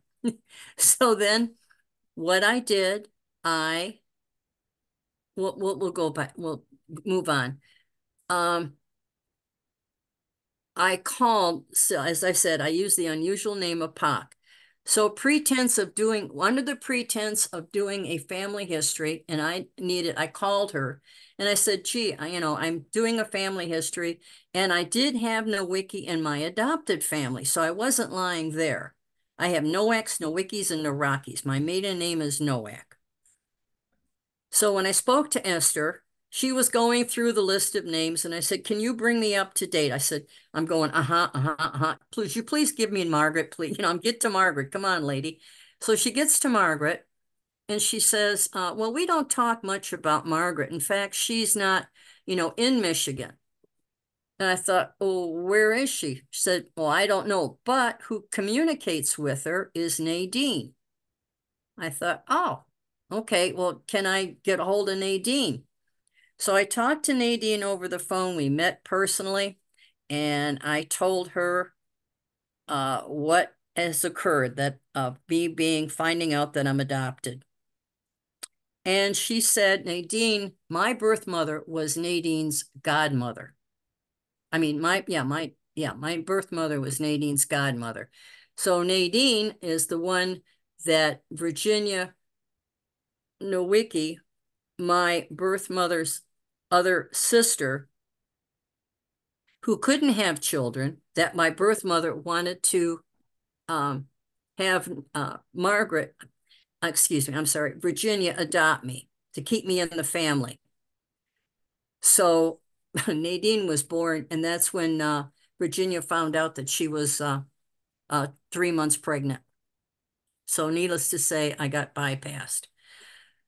You can, what I did, I wrote a letter to Social Security to have it delivered to Margaret. Nadine uh, wrote the letter. You can do this. You know, Social Security will, if you know the name, to find out, like say, help find out their current location. You can uh, have them email, have them uh, mail directly to that person. If you know their last known residence, which Nadine did in California, but we didn't know where. So then the waiting period for it to find out begins. So the last week of July, 1991. So from 1987, so from the uh, August of 1987 to July of 1991, Nadine received the letter from the Salvation Army, and we had an address and a phone number. because she wanted to contact her too because she missed, you know, talking to her and that. And then she said it makes sense now why Margaret was considered the quote unquote black sheep of the family. So I, when I called Margaret, I called her and I said to her, I said, does the date September 4th, 1947 mean anything to you? Well, once she heard that, she started crying and whatnot. I said, wait a minute, wait a minute. I don't want you to have a heart attack. It's not like you're around the corner and down the street that I can stop in. We're talking from Michigan to California, you know. And then she told me how uh, she lights a candle for my birthday. She couldn't believe it that I found her. So uh, through her, I discovered my birth father's full name. Remember I told you I was given the initials C and S? His name was Charles Sales. So now I didn't pick it up again till 1994. Remember I was telling you about the energy needed. I found him through the same principle of using and looking for him, finding, and she told me that where he was living in, she said he was a graduate of Royal Oak High School. So I got his picture by being, which is totally unheard of in the 40s. That'd be like somebody graduating from college. So what I did once I found his parents' names, I looked for their death certificate and did find it. And it did list Laura Sales. That was, I knew I had a half sister. And I thought, oh, wow, I've always wanted a sister. Okay. So then I got, because I had the information when her, when Laura's mother died, who was Elizabeth Sales, that uh, her mother, this Aunt Mildred, that is Laura's uh, mother, Elizabeth, her uh, her sister. So from a death note. So Mildred got me in touch with Laura. So we're almost at the end gang here. So what uh the information from my uh for the non-identifying information for the birth father is what was supplied. I got lucky. This was supplied by my birth mother. Again, as we were talking earlier, there may be the father's name, there may not. It all depends on the situation. If a guilt or uh, rape, incest, if the birth mother will put the information down, and it depends. There's some birth mothers at the age 15. You know, they don't know. They're not going to put the birth father's name down. So I'd like you to meet my birth father. He was born, oh, from this is when I found him. It took on October 9th of 1993 to October 12th of 1993. Found him in Louisiana. I helped a, a private investigator in the summer of 1994 solve a five-year Wayne County court case because someone, he was looking for with my last name being Nowak at the time. It was very common. He had a five-year court case that was going to close in a probate. So I found the people for him. So in the meantime, I said, okay, I helped you. This is how you can help me. And I think if you read that Laura and I, we flew to Louisiana with the pretense I was a friend of Laura's to keep her company. Her birth date was on October 10th. When I met him, I'm sitting across from Chuck, Chick, they called him. He kept looking at me like, where do I know you from? You look awfully familiar. I was a spitting image of him at the time. The people that he was staying with, they said, uh, there's no way he can deny who you look like. You are, you know, you're his daughter. Okay.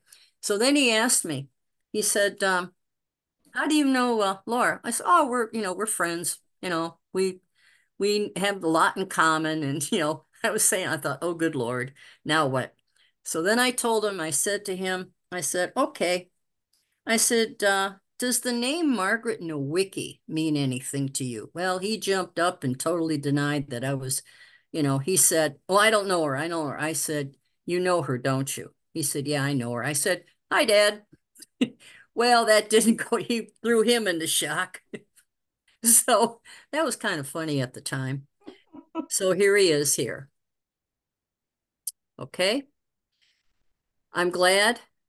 Like I said, 1990, I did have a couple years communicating with him. He did die in 2002 from lung cancer.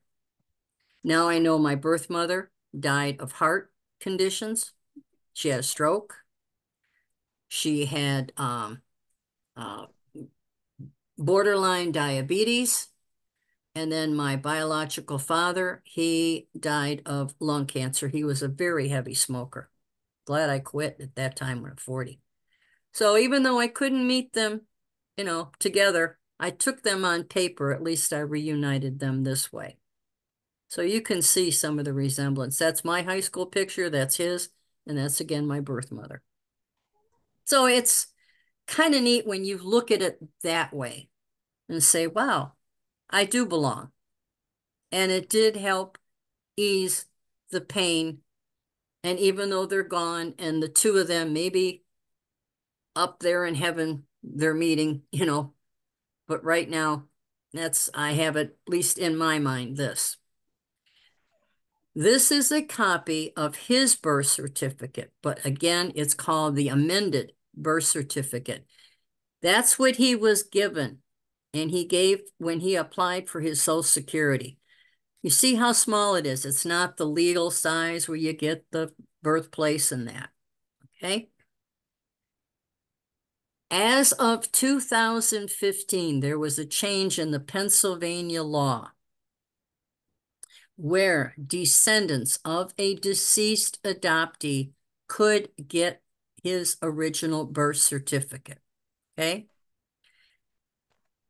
I'm sorry, I don't know if I proud, you know, it's small, but I can't help that. But it has, ironically, it has his biological parents' names. Come to find out, his birth father was Irish. He was Catholic. His mother was Protestant. Needless to say, back then the Catholic religion was really frowned on. Uh, out, you know, like what do you call? I'm trying to think of that term. The marriages, you know, not you know, not staying within the religion. Catholic, you know, Catholic. I mean, the person's gone to hell because uh, they didn't stick with the Catholic religion. Okay, here, ironically, the biological father was uh, Catholic, and the biological mother was uh, Protestant. In my case, my birth mother was Catholic and the birth father was Protestant. Back in 65, we could not even attend a uh, uh, marriage between a Catholic and a, a Protestant or a non-Catholic. We could not send a card. We could not even uh, send a gift because that was showing acceptance of that marriage. And I'm almost to the end here. There's a couple new surprises.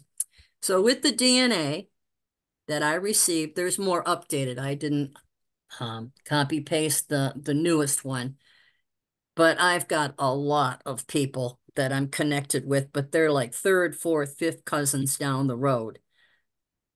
But you can see that again, the 50% at uh, as from this is from ancestry.com that uh, the lot half of it was Polish because it from the non-identifying information was the Polish and the German that is from the urban family of my biological father but was nice at that time that 12% is now 27% Irish as more people remember I was saying it was the large the ancestry is the largest database at this time in 1997 when I did it that's was only 12%. That's how much it increased by more and more people getting involved. At least now I know from the biological father that his uh, birth parents, the birth father, he that's the part of Ireland he came from. Okay. So, piece like it says, peaceful pieces of my puzzle's life now begin to fit together and make sense. My genetic and biological heritage is now confirmed. In fact, I have um, on my birth father's side, my paternal father's side, birth father, his grandfather, my great grandfather, and his son both served in the Civil War for Ohio. So that's kind of neat, you know. So then I thought, oh my God, with all these relatives, I thought, oh, good Lord. It was near Christmas time, and I thought, I'm, I'm not going to write all these Christmas cards. It's a joke between myself and me. So just to show you how long it took from the time I found out, as of August 15th, 1987 to August 3rd, I decided to put it in days or years, months, and days.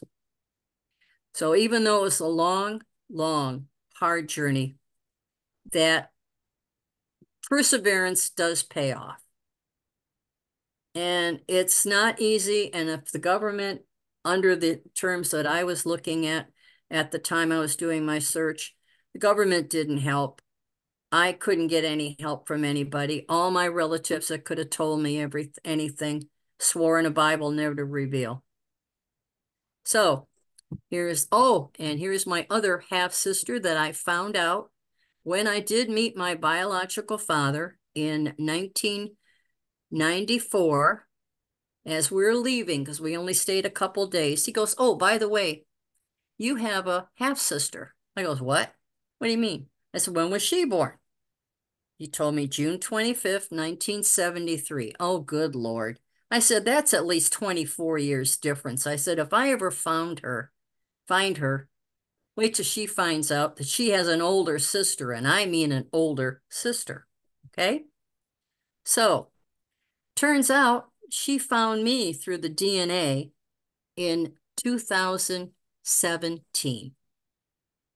So, I'd like to introduce my half sister. That again, you can see the resemblance, and DNA does not lie. You ready? That's her.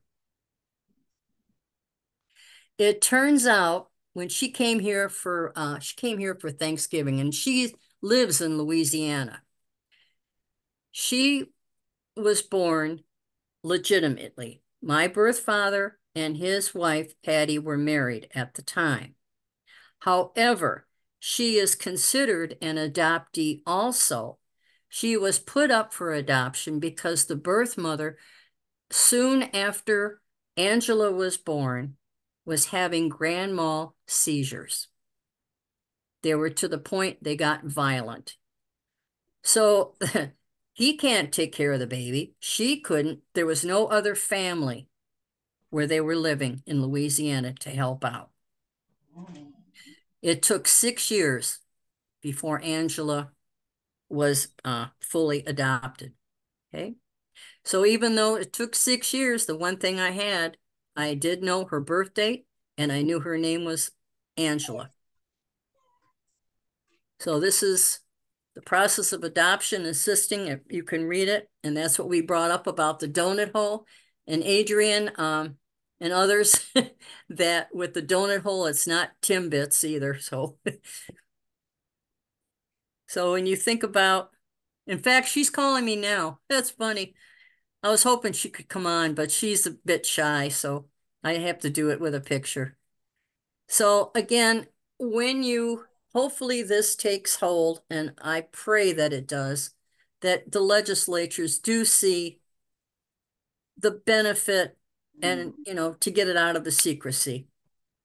And ironically my high school motto was the truth shall set you free and boy did it once it did come out. And want to thank you everybody and especially uh, susan and valerie and kathy uh, from lyon township. And if i really suggest going on facebook if you use facebook please join the group the adoptees, advocates of Michigan, along with other groups, and you'll be kept up to date as to what's going on. So anything else? I have a question. I hope I got an answer. God, I, um, still, I still got my lifelines here. Okay, so um, the bill, it passed the House of Representatives and it's going mm -hmm. to mm-hmm. the Senate next. Um. When is that happening? There you go. Anyone, Valerie, go for it, girl. Okay, well, yeah, it, we've been learning how the law works, and it's pretty crazy. um, the first place that the bill is going, I mean, next is going to be the Civil Rights Judiciary Committee for the Senate. Um, and we don't have an exact date of when it will be heard in that committee yet. Um, session starts tomorrow. And then uh, you know once we've had time to meet with our sponsors and they've done what they do in the background a date will probably be made to go to the senate committee. And then it's going to have to pass out of that committee which we're pretty hopeful. Um, there's only seven members on that committee. Five are democrat and our main sponsor is a democrat. So we feel like they're probably going to help push that through. Um, then from there, hopefully it will go to the Senate floor, but it could go to another committee. We just don't know yet.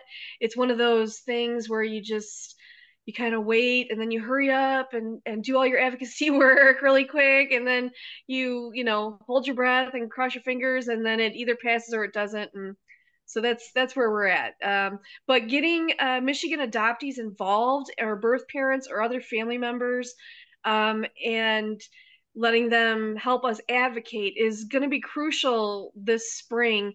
Uh, there will be opportunities to email your senators and um, we we have a script and we're going to do it in a very concentrated and um, organized way because that seems to be the most effective rather than you know everybody just randomly reaching out to their legislators. So um, that just shows that that we're organized and that we have a lot of support.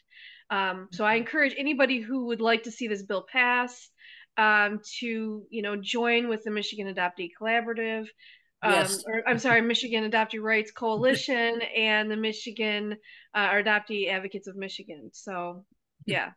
We're going to need help uh, people right. supporting us in any way they can, whether, you know, right. not so much financially, but maybe letter writing or actually going to Lansing. I don't know where everyone lives at this point.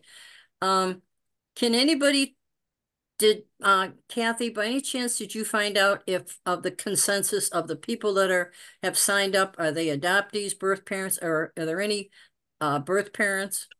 Oh, you you're muted. You're muted, honey. okay.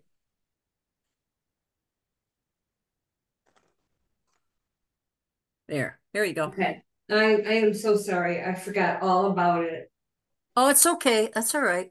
But what I can do is I am going to be sending uh, the handout again to everybody. And I will ask that question and uh, give you the give you the the results when they email me back. Right. And I really appreciate too everybody hanging in there because this is such a complex issue. And then once it's brought to light, it's like the more people that know about this, the maybe the quicker this is going to get passed, that a lot of people will have, especially adoptees, will have the peace of mind whether they decide to choose or not to choose to search. Mm -hmm. You know, it does help, believe me, I'll tell you. It well, makes you feel like I belong. They need that sense of belonging. So yeah.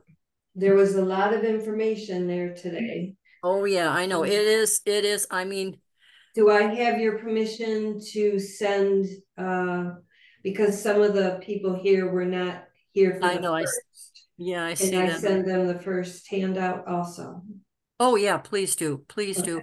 And then especially when you find out um for part 1 that the people that didn't get a chance to see part 1 for whatever reason they might want to yeah. I'm, goes I'm into pretty more. sure they'll put the video on and this video I will send out an email once it's up uh, okay. again I don't know exactly what day the IT girl is coming back All right.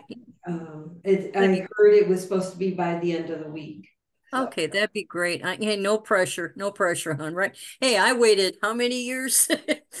I can wait a couple weeks. No, I'm sure everybody else can too the the bit information that surprised me because I've been wanting to find the certificate that has the birth father's if I get non-identifying, I was hoping to get an age. But now you're saying that there might not even be any information on him at all. Right, but then the DNA, do you have the DNA, any Well, DNA? a- actually, my husband did put the DNA in, because this would be his grandfather. That um we're looking for because his father was adopted. Um. We know his name was Frank Wegman.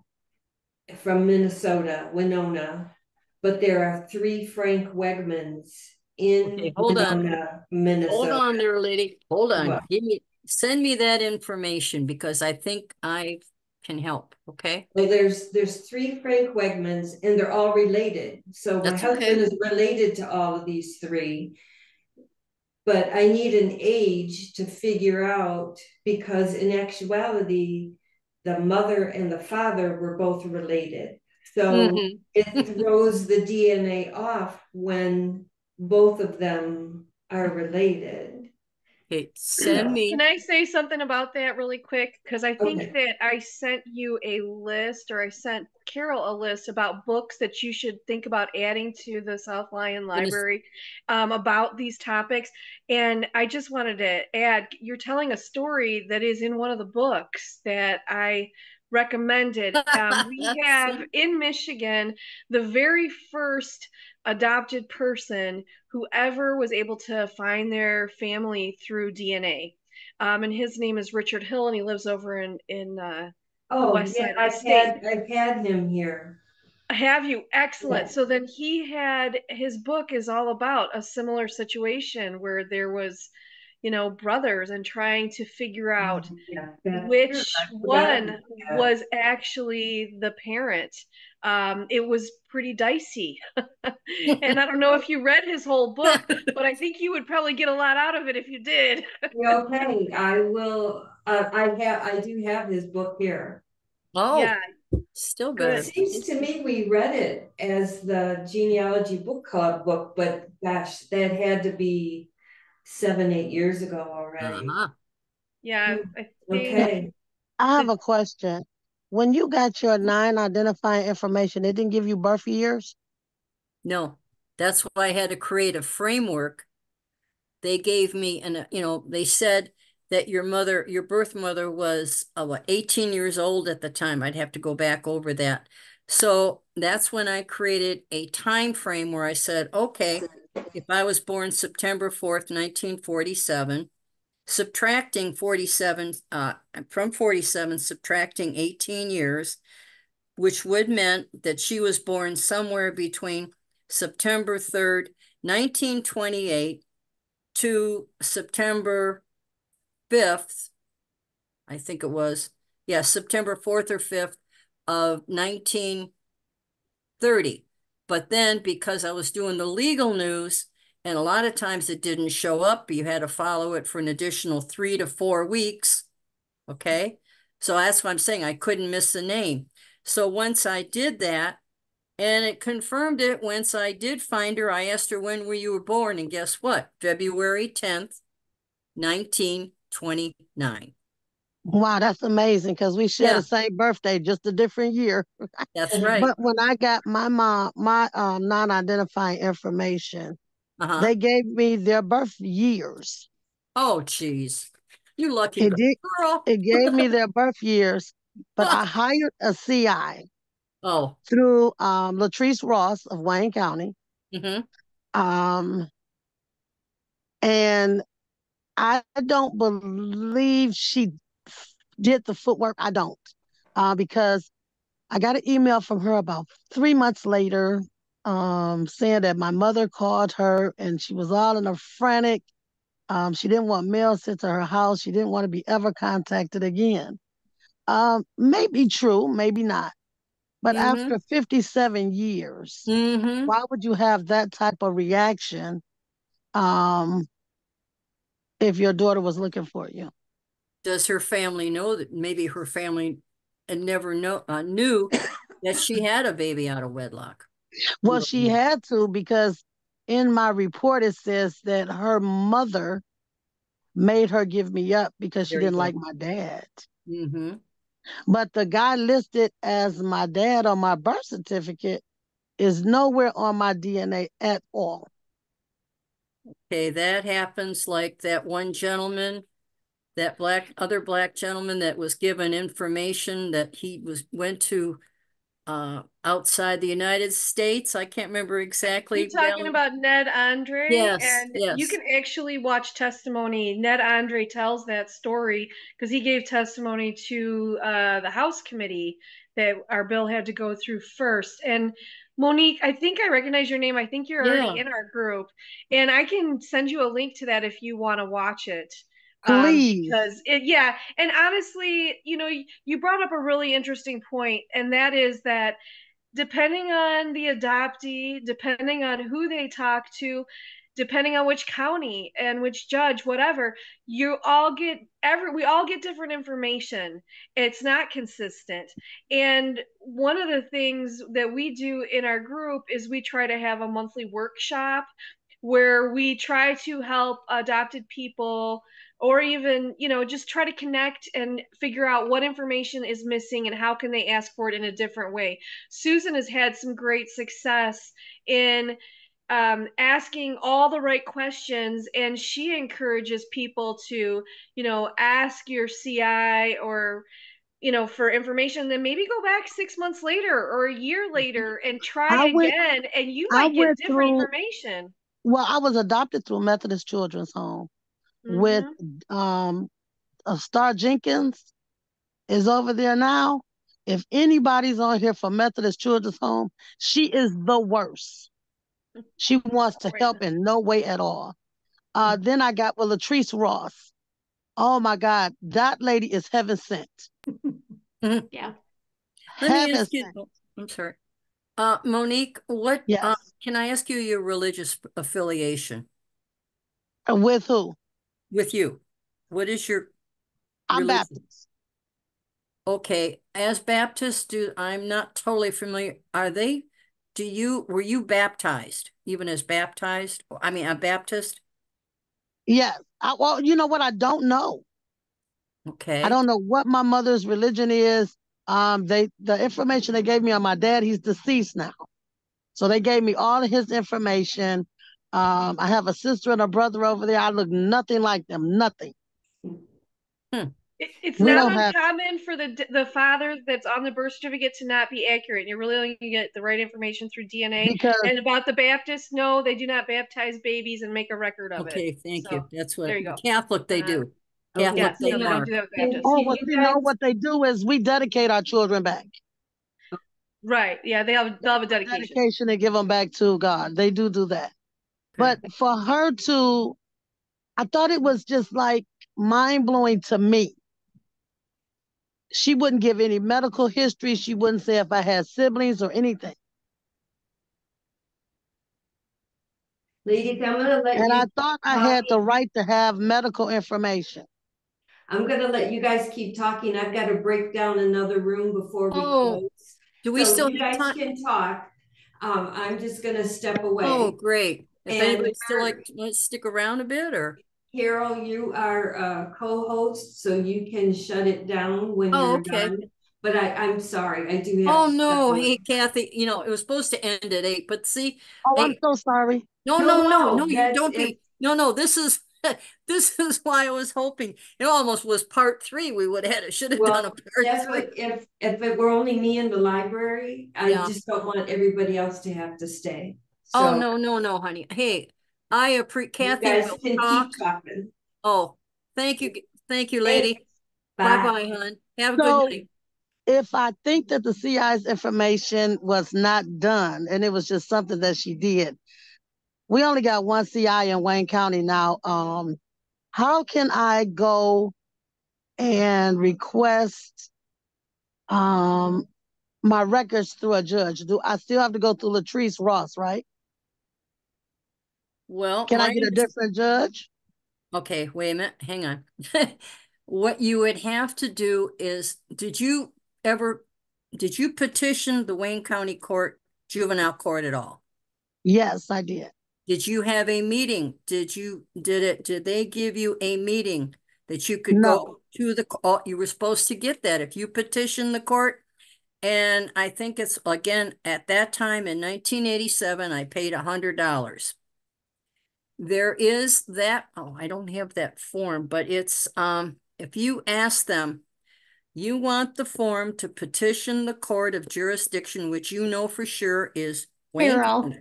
Yeah. It's a P- PCA three two seven. That's I'll that put, one. I'll put a link in the chart, in the chat to the form. Please. Sure. Right, because that's what I was trying to get a hold of you. I was trying to ask you, what was that form that you were talking about that I was trying to get a hold of you on? Remember? Ah, That's what I needed. But that's okay. I still love you. Okay, so after I do that, I have a hearing with the judge and who else? Yes, you will have a hearing with the judge. You present your case as to why you need the judge to open your file. The reasons. Remember I said to have a valid reason? Okay, Okay, you can tell them, you know, I guess maybe to make sure, uh, being that Valerie knows you and Susan knows you already too, just to clarify your reason when you fill out that form. Are you guys, can you guys help her out too with that to make sure she Sure. has the right wording of it? Cause they could be really sticklers and, but you never know the judge, pro, uh, the juvenile probate judge that you'll get that will handle the case. Cause I think there's at least three or four of them. If I'm not Okay. mistaken, yeah. Monique, if you want to send me a Facebook message, you and I are already kind of in contact and we can, I'd be happy to help you file that okay, form. n- no problem. Yeah, yeah. let's do it. Great. Okay. Okay. Anything else? Yeah, I have a question. I hope I got an answer. Okay. My If not, my, my lifelines are still here. my grandmother gave up three children and kept the rest of what children she had. Okay, one I was lucky to find through the Children's Aid Society through Canada. So I found her other half sister. Now, through DNA testing, I have a first cousin that has come on there. She is my grandmother.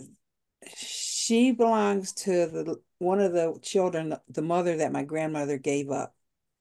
She has a half brother, and he was in contact before with the father before they had a falling out. She knows who her father is, so she tried to can't contact him, and the ex-wife had told her it was just a night fling. They were drunk. That's all it was.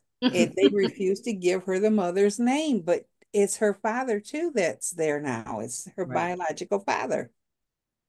And he knows who her mother is, and that's all she wants to do is find out her mother's name.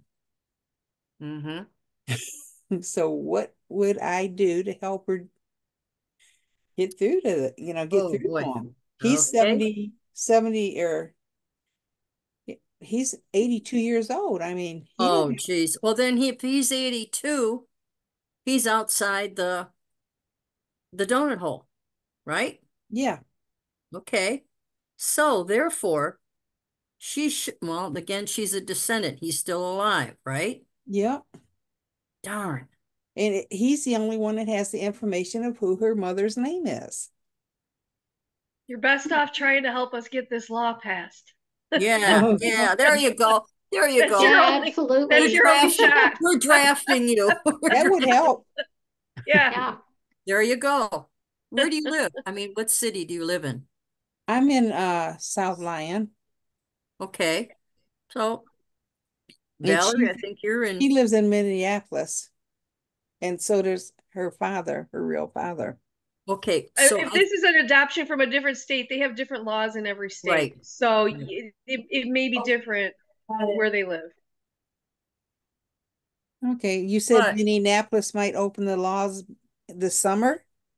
Uh, yeah, Minnesota, they passed it. So it is officially that they Uh-huh. will be opening it up. But the, the thing is, is that when these laws get passed, it takes them a minute to get enacted because these, you know, it's a lot of uh, paperwork that they have got to sort through and figure out their new system for when an adoptee requests their information. So it is passed, but it won't actually go into effect until this coming up summer in the handouts that Carol provided and the library provided, there is links in there, and one of there is to the Adoptee Rights Law Center, and you'll see a link that says um, uh, adoptee rights for all the states. It's like a map of the country, and you can Mhm. click on that Yeah. state, and you can go to a page, and it'll tell you what is the adoptee law there. It's a really great resource, so we made sure to include it.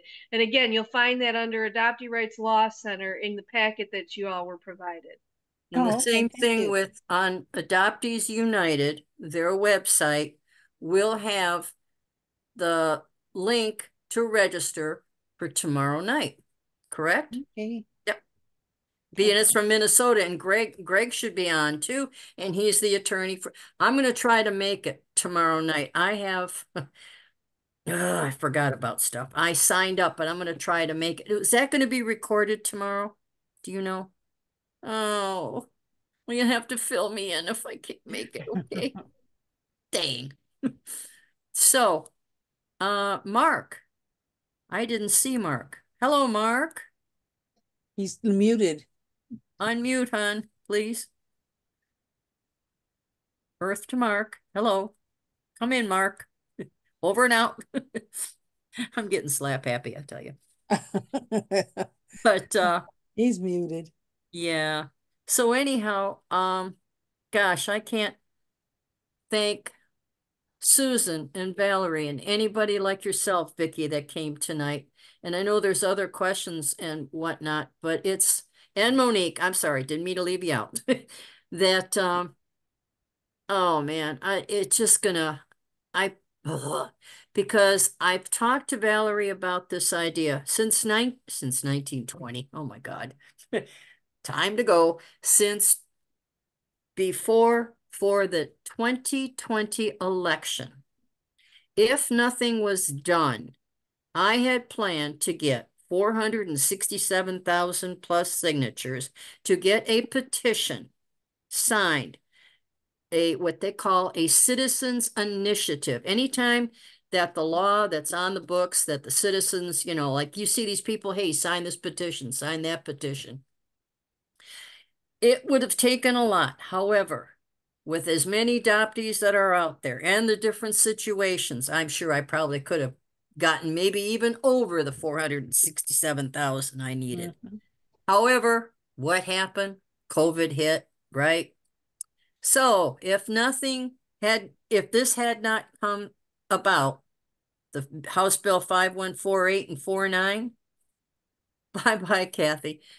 I would have gone for, uh, which we still would have that alternative to go for it for, No, not really. To be honest with you, that's really unfortunately the petition is great to bring it to everybody's um so they all know about it, but it won't change the law. A petition won't change the law. And if- it's it's really it's voted, no, no, if, I'm sorry, hon, if it's voted on, if it goes on the ballot, the election Yeah. ballot, go then it would we would still have to come up with the language in order to change the current law. right, which correct. can get pretty dicey actually Oh. which is why we have a donut hole right now because someone tried to help the situation in the past and it wasn't retroactive to all the adoptees Mhm. previous to 1980 Right. which created a big big big Right. problem so um we my have, bubble. Yeah i'm sorry. But uh, you know in new york they did a petition. They did one of those change.org petitions and they were able to get like 10,000 people to sign on it. But it didn't really do anything to change the law but it did have the capacity of letting the public know what's happening. And that Mhm. is still a very valuable thing. Right. so but it, at this point we're just hoping that this law is going to pass and um, we won't have a lot of opposition. And we do have some opposition, um, and they typically come in the form of the Catholics, uh, Mhm. adoption agencies, as well as um, a couple other different groups that are worried about birth parent privacy. But the the most important thing to think about is that birth parent privacy is obsolete now that we have DNA. They Mhm. said at one point, just about everybody's in the DNA system one way or another. So if you can't find your birth parent right now, you could probably find a relative of theirs and do the work through a genealogist or someone like Susan, even a search angel, and um, find out who your family member is. Um, so this idea of protecting privacy of mothers um, not only was it uh, ruled against in Oregon in 1999, uh, the Supreme Court said that birth parent privacy, they do not have the uh, right to lifelong anonymity um, for the simple reason that you can't legally guarantee that a child, when it's given up for adoption, will actually be adopted. You can Mhm. relinquish a baby, but you can't say for sure that that child will be adopted by anybody. And since the birth parent can't make that guarantee, they can't be privy to lifelong uh, anonymity. Right. Um, maybe at the time of birth, and maybe through closed adoption, Mhm. but once the uh, adoptee becomes an adult, Right. um, they have the right to search if they want to. Oh, I got a question. Why is Michigan the last state to get this law to try to pass it? We're not the last state. Oh, if we okay. did pass it, we would only be the 16th state that has acted it. Another 15 have. So we still got we still got another 35 to go. And unfortunately, it's not a federal issue. It is a state by state issue because adoption is controlled by the state. So we have to pass this law in 50 states. However, uh, beyond that, and I just want to make a note of this. I don't know if anybody here was adopted from overseas, but there is one issue that is impacted federally uh, with adoptee rights, and that is adoptees who are brought here from overseas. Uh, many of them don't have citizenship, believe it or not. I didn't know that until I got into adoptee rights. But if you know some adoptees who were brought over from Korea or Haiti or a lot of other different countries, um, sometimes those adoptions were not completely paperwork legitimate and then when they came here uh, the adoptive parents didn't necessarily follow through on getting their citizenship taken care of and these adoptees do not find out until they're adults sometimes when they're going to get social security. Uh, they find out well hey they've lived there their whole life since they were an infant but they're not actually a us citizen. So adoptee rights is important for adopted people. And you know we have situations for domestic adoptees here but also there's big federal issues with um, uh, adopting from overseas or So then other they, they can't, they can't vote. no they they're allowed to vote um it just it depends on the everybody's situation wow. is different Wow. um and it like there is a case right now of a of a adoptee out of Indiana who is I think only 13 years old, severely disabled, came here from Haiti, and now uh, it's all over the news. The mother is saying they're going to deport her child who Oh, is Jesus. disabled back to Haiti, which uh, realistically may or may probably would not happen because he's severely disabled. But Mm. um, it's actually the the fault of the adoptive parent that they did not dot all their Yep. I's and cross all their T's when they brought the child here.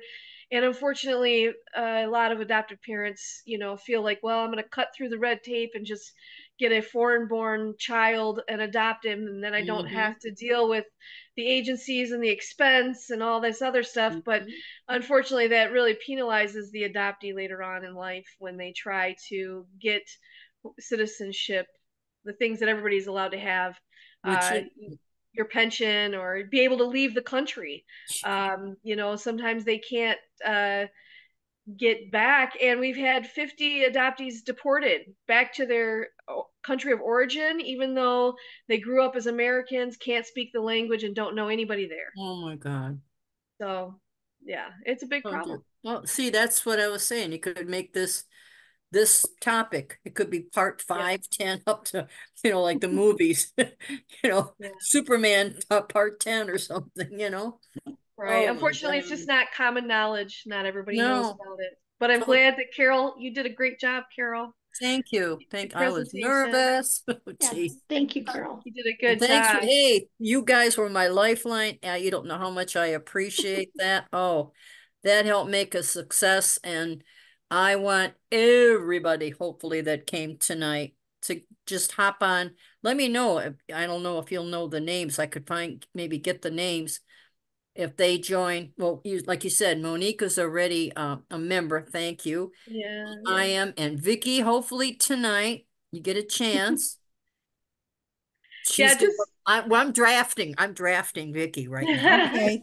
All that information is in your ha- handouts, and Mhm. you know, just there's a lot. There's so much in there. Just And take then, look at it all. and then It'll probably take me a Valerie, week, right? thank you. Valerie, it was, you know, Valerie had a good hand, you know, I couldn't have done it without you, Valerie. Thank you. I oh, thanks. You did it before without Oh, me. well, you would yeah, but you fine. made it I'm just glad you invited You made it more sense, and then she helped Yeah. update it to current, you know, information. That's why Happy with to do what it. we did, what I try to take you back in time, everybody back in time to bring you up in time. And I hope that that was my goal. I hope it got accomplished. Did you feel that, Vicky? Help me out.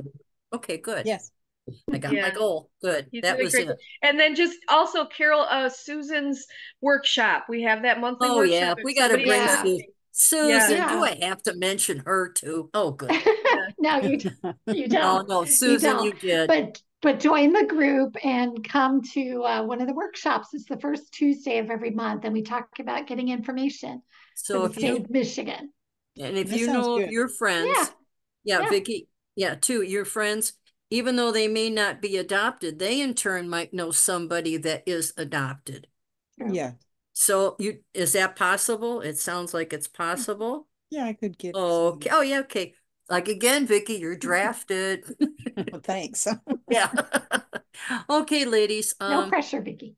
yeah, no pressure. Just get on that Facebook page when we close up now. No, I have to look for it. I'm gonna be looking, Vicky, what's your last name? Moorhead. Okay. M O O R H E A D. M O O R E.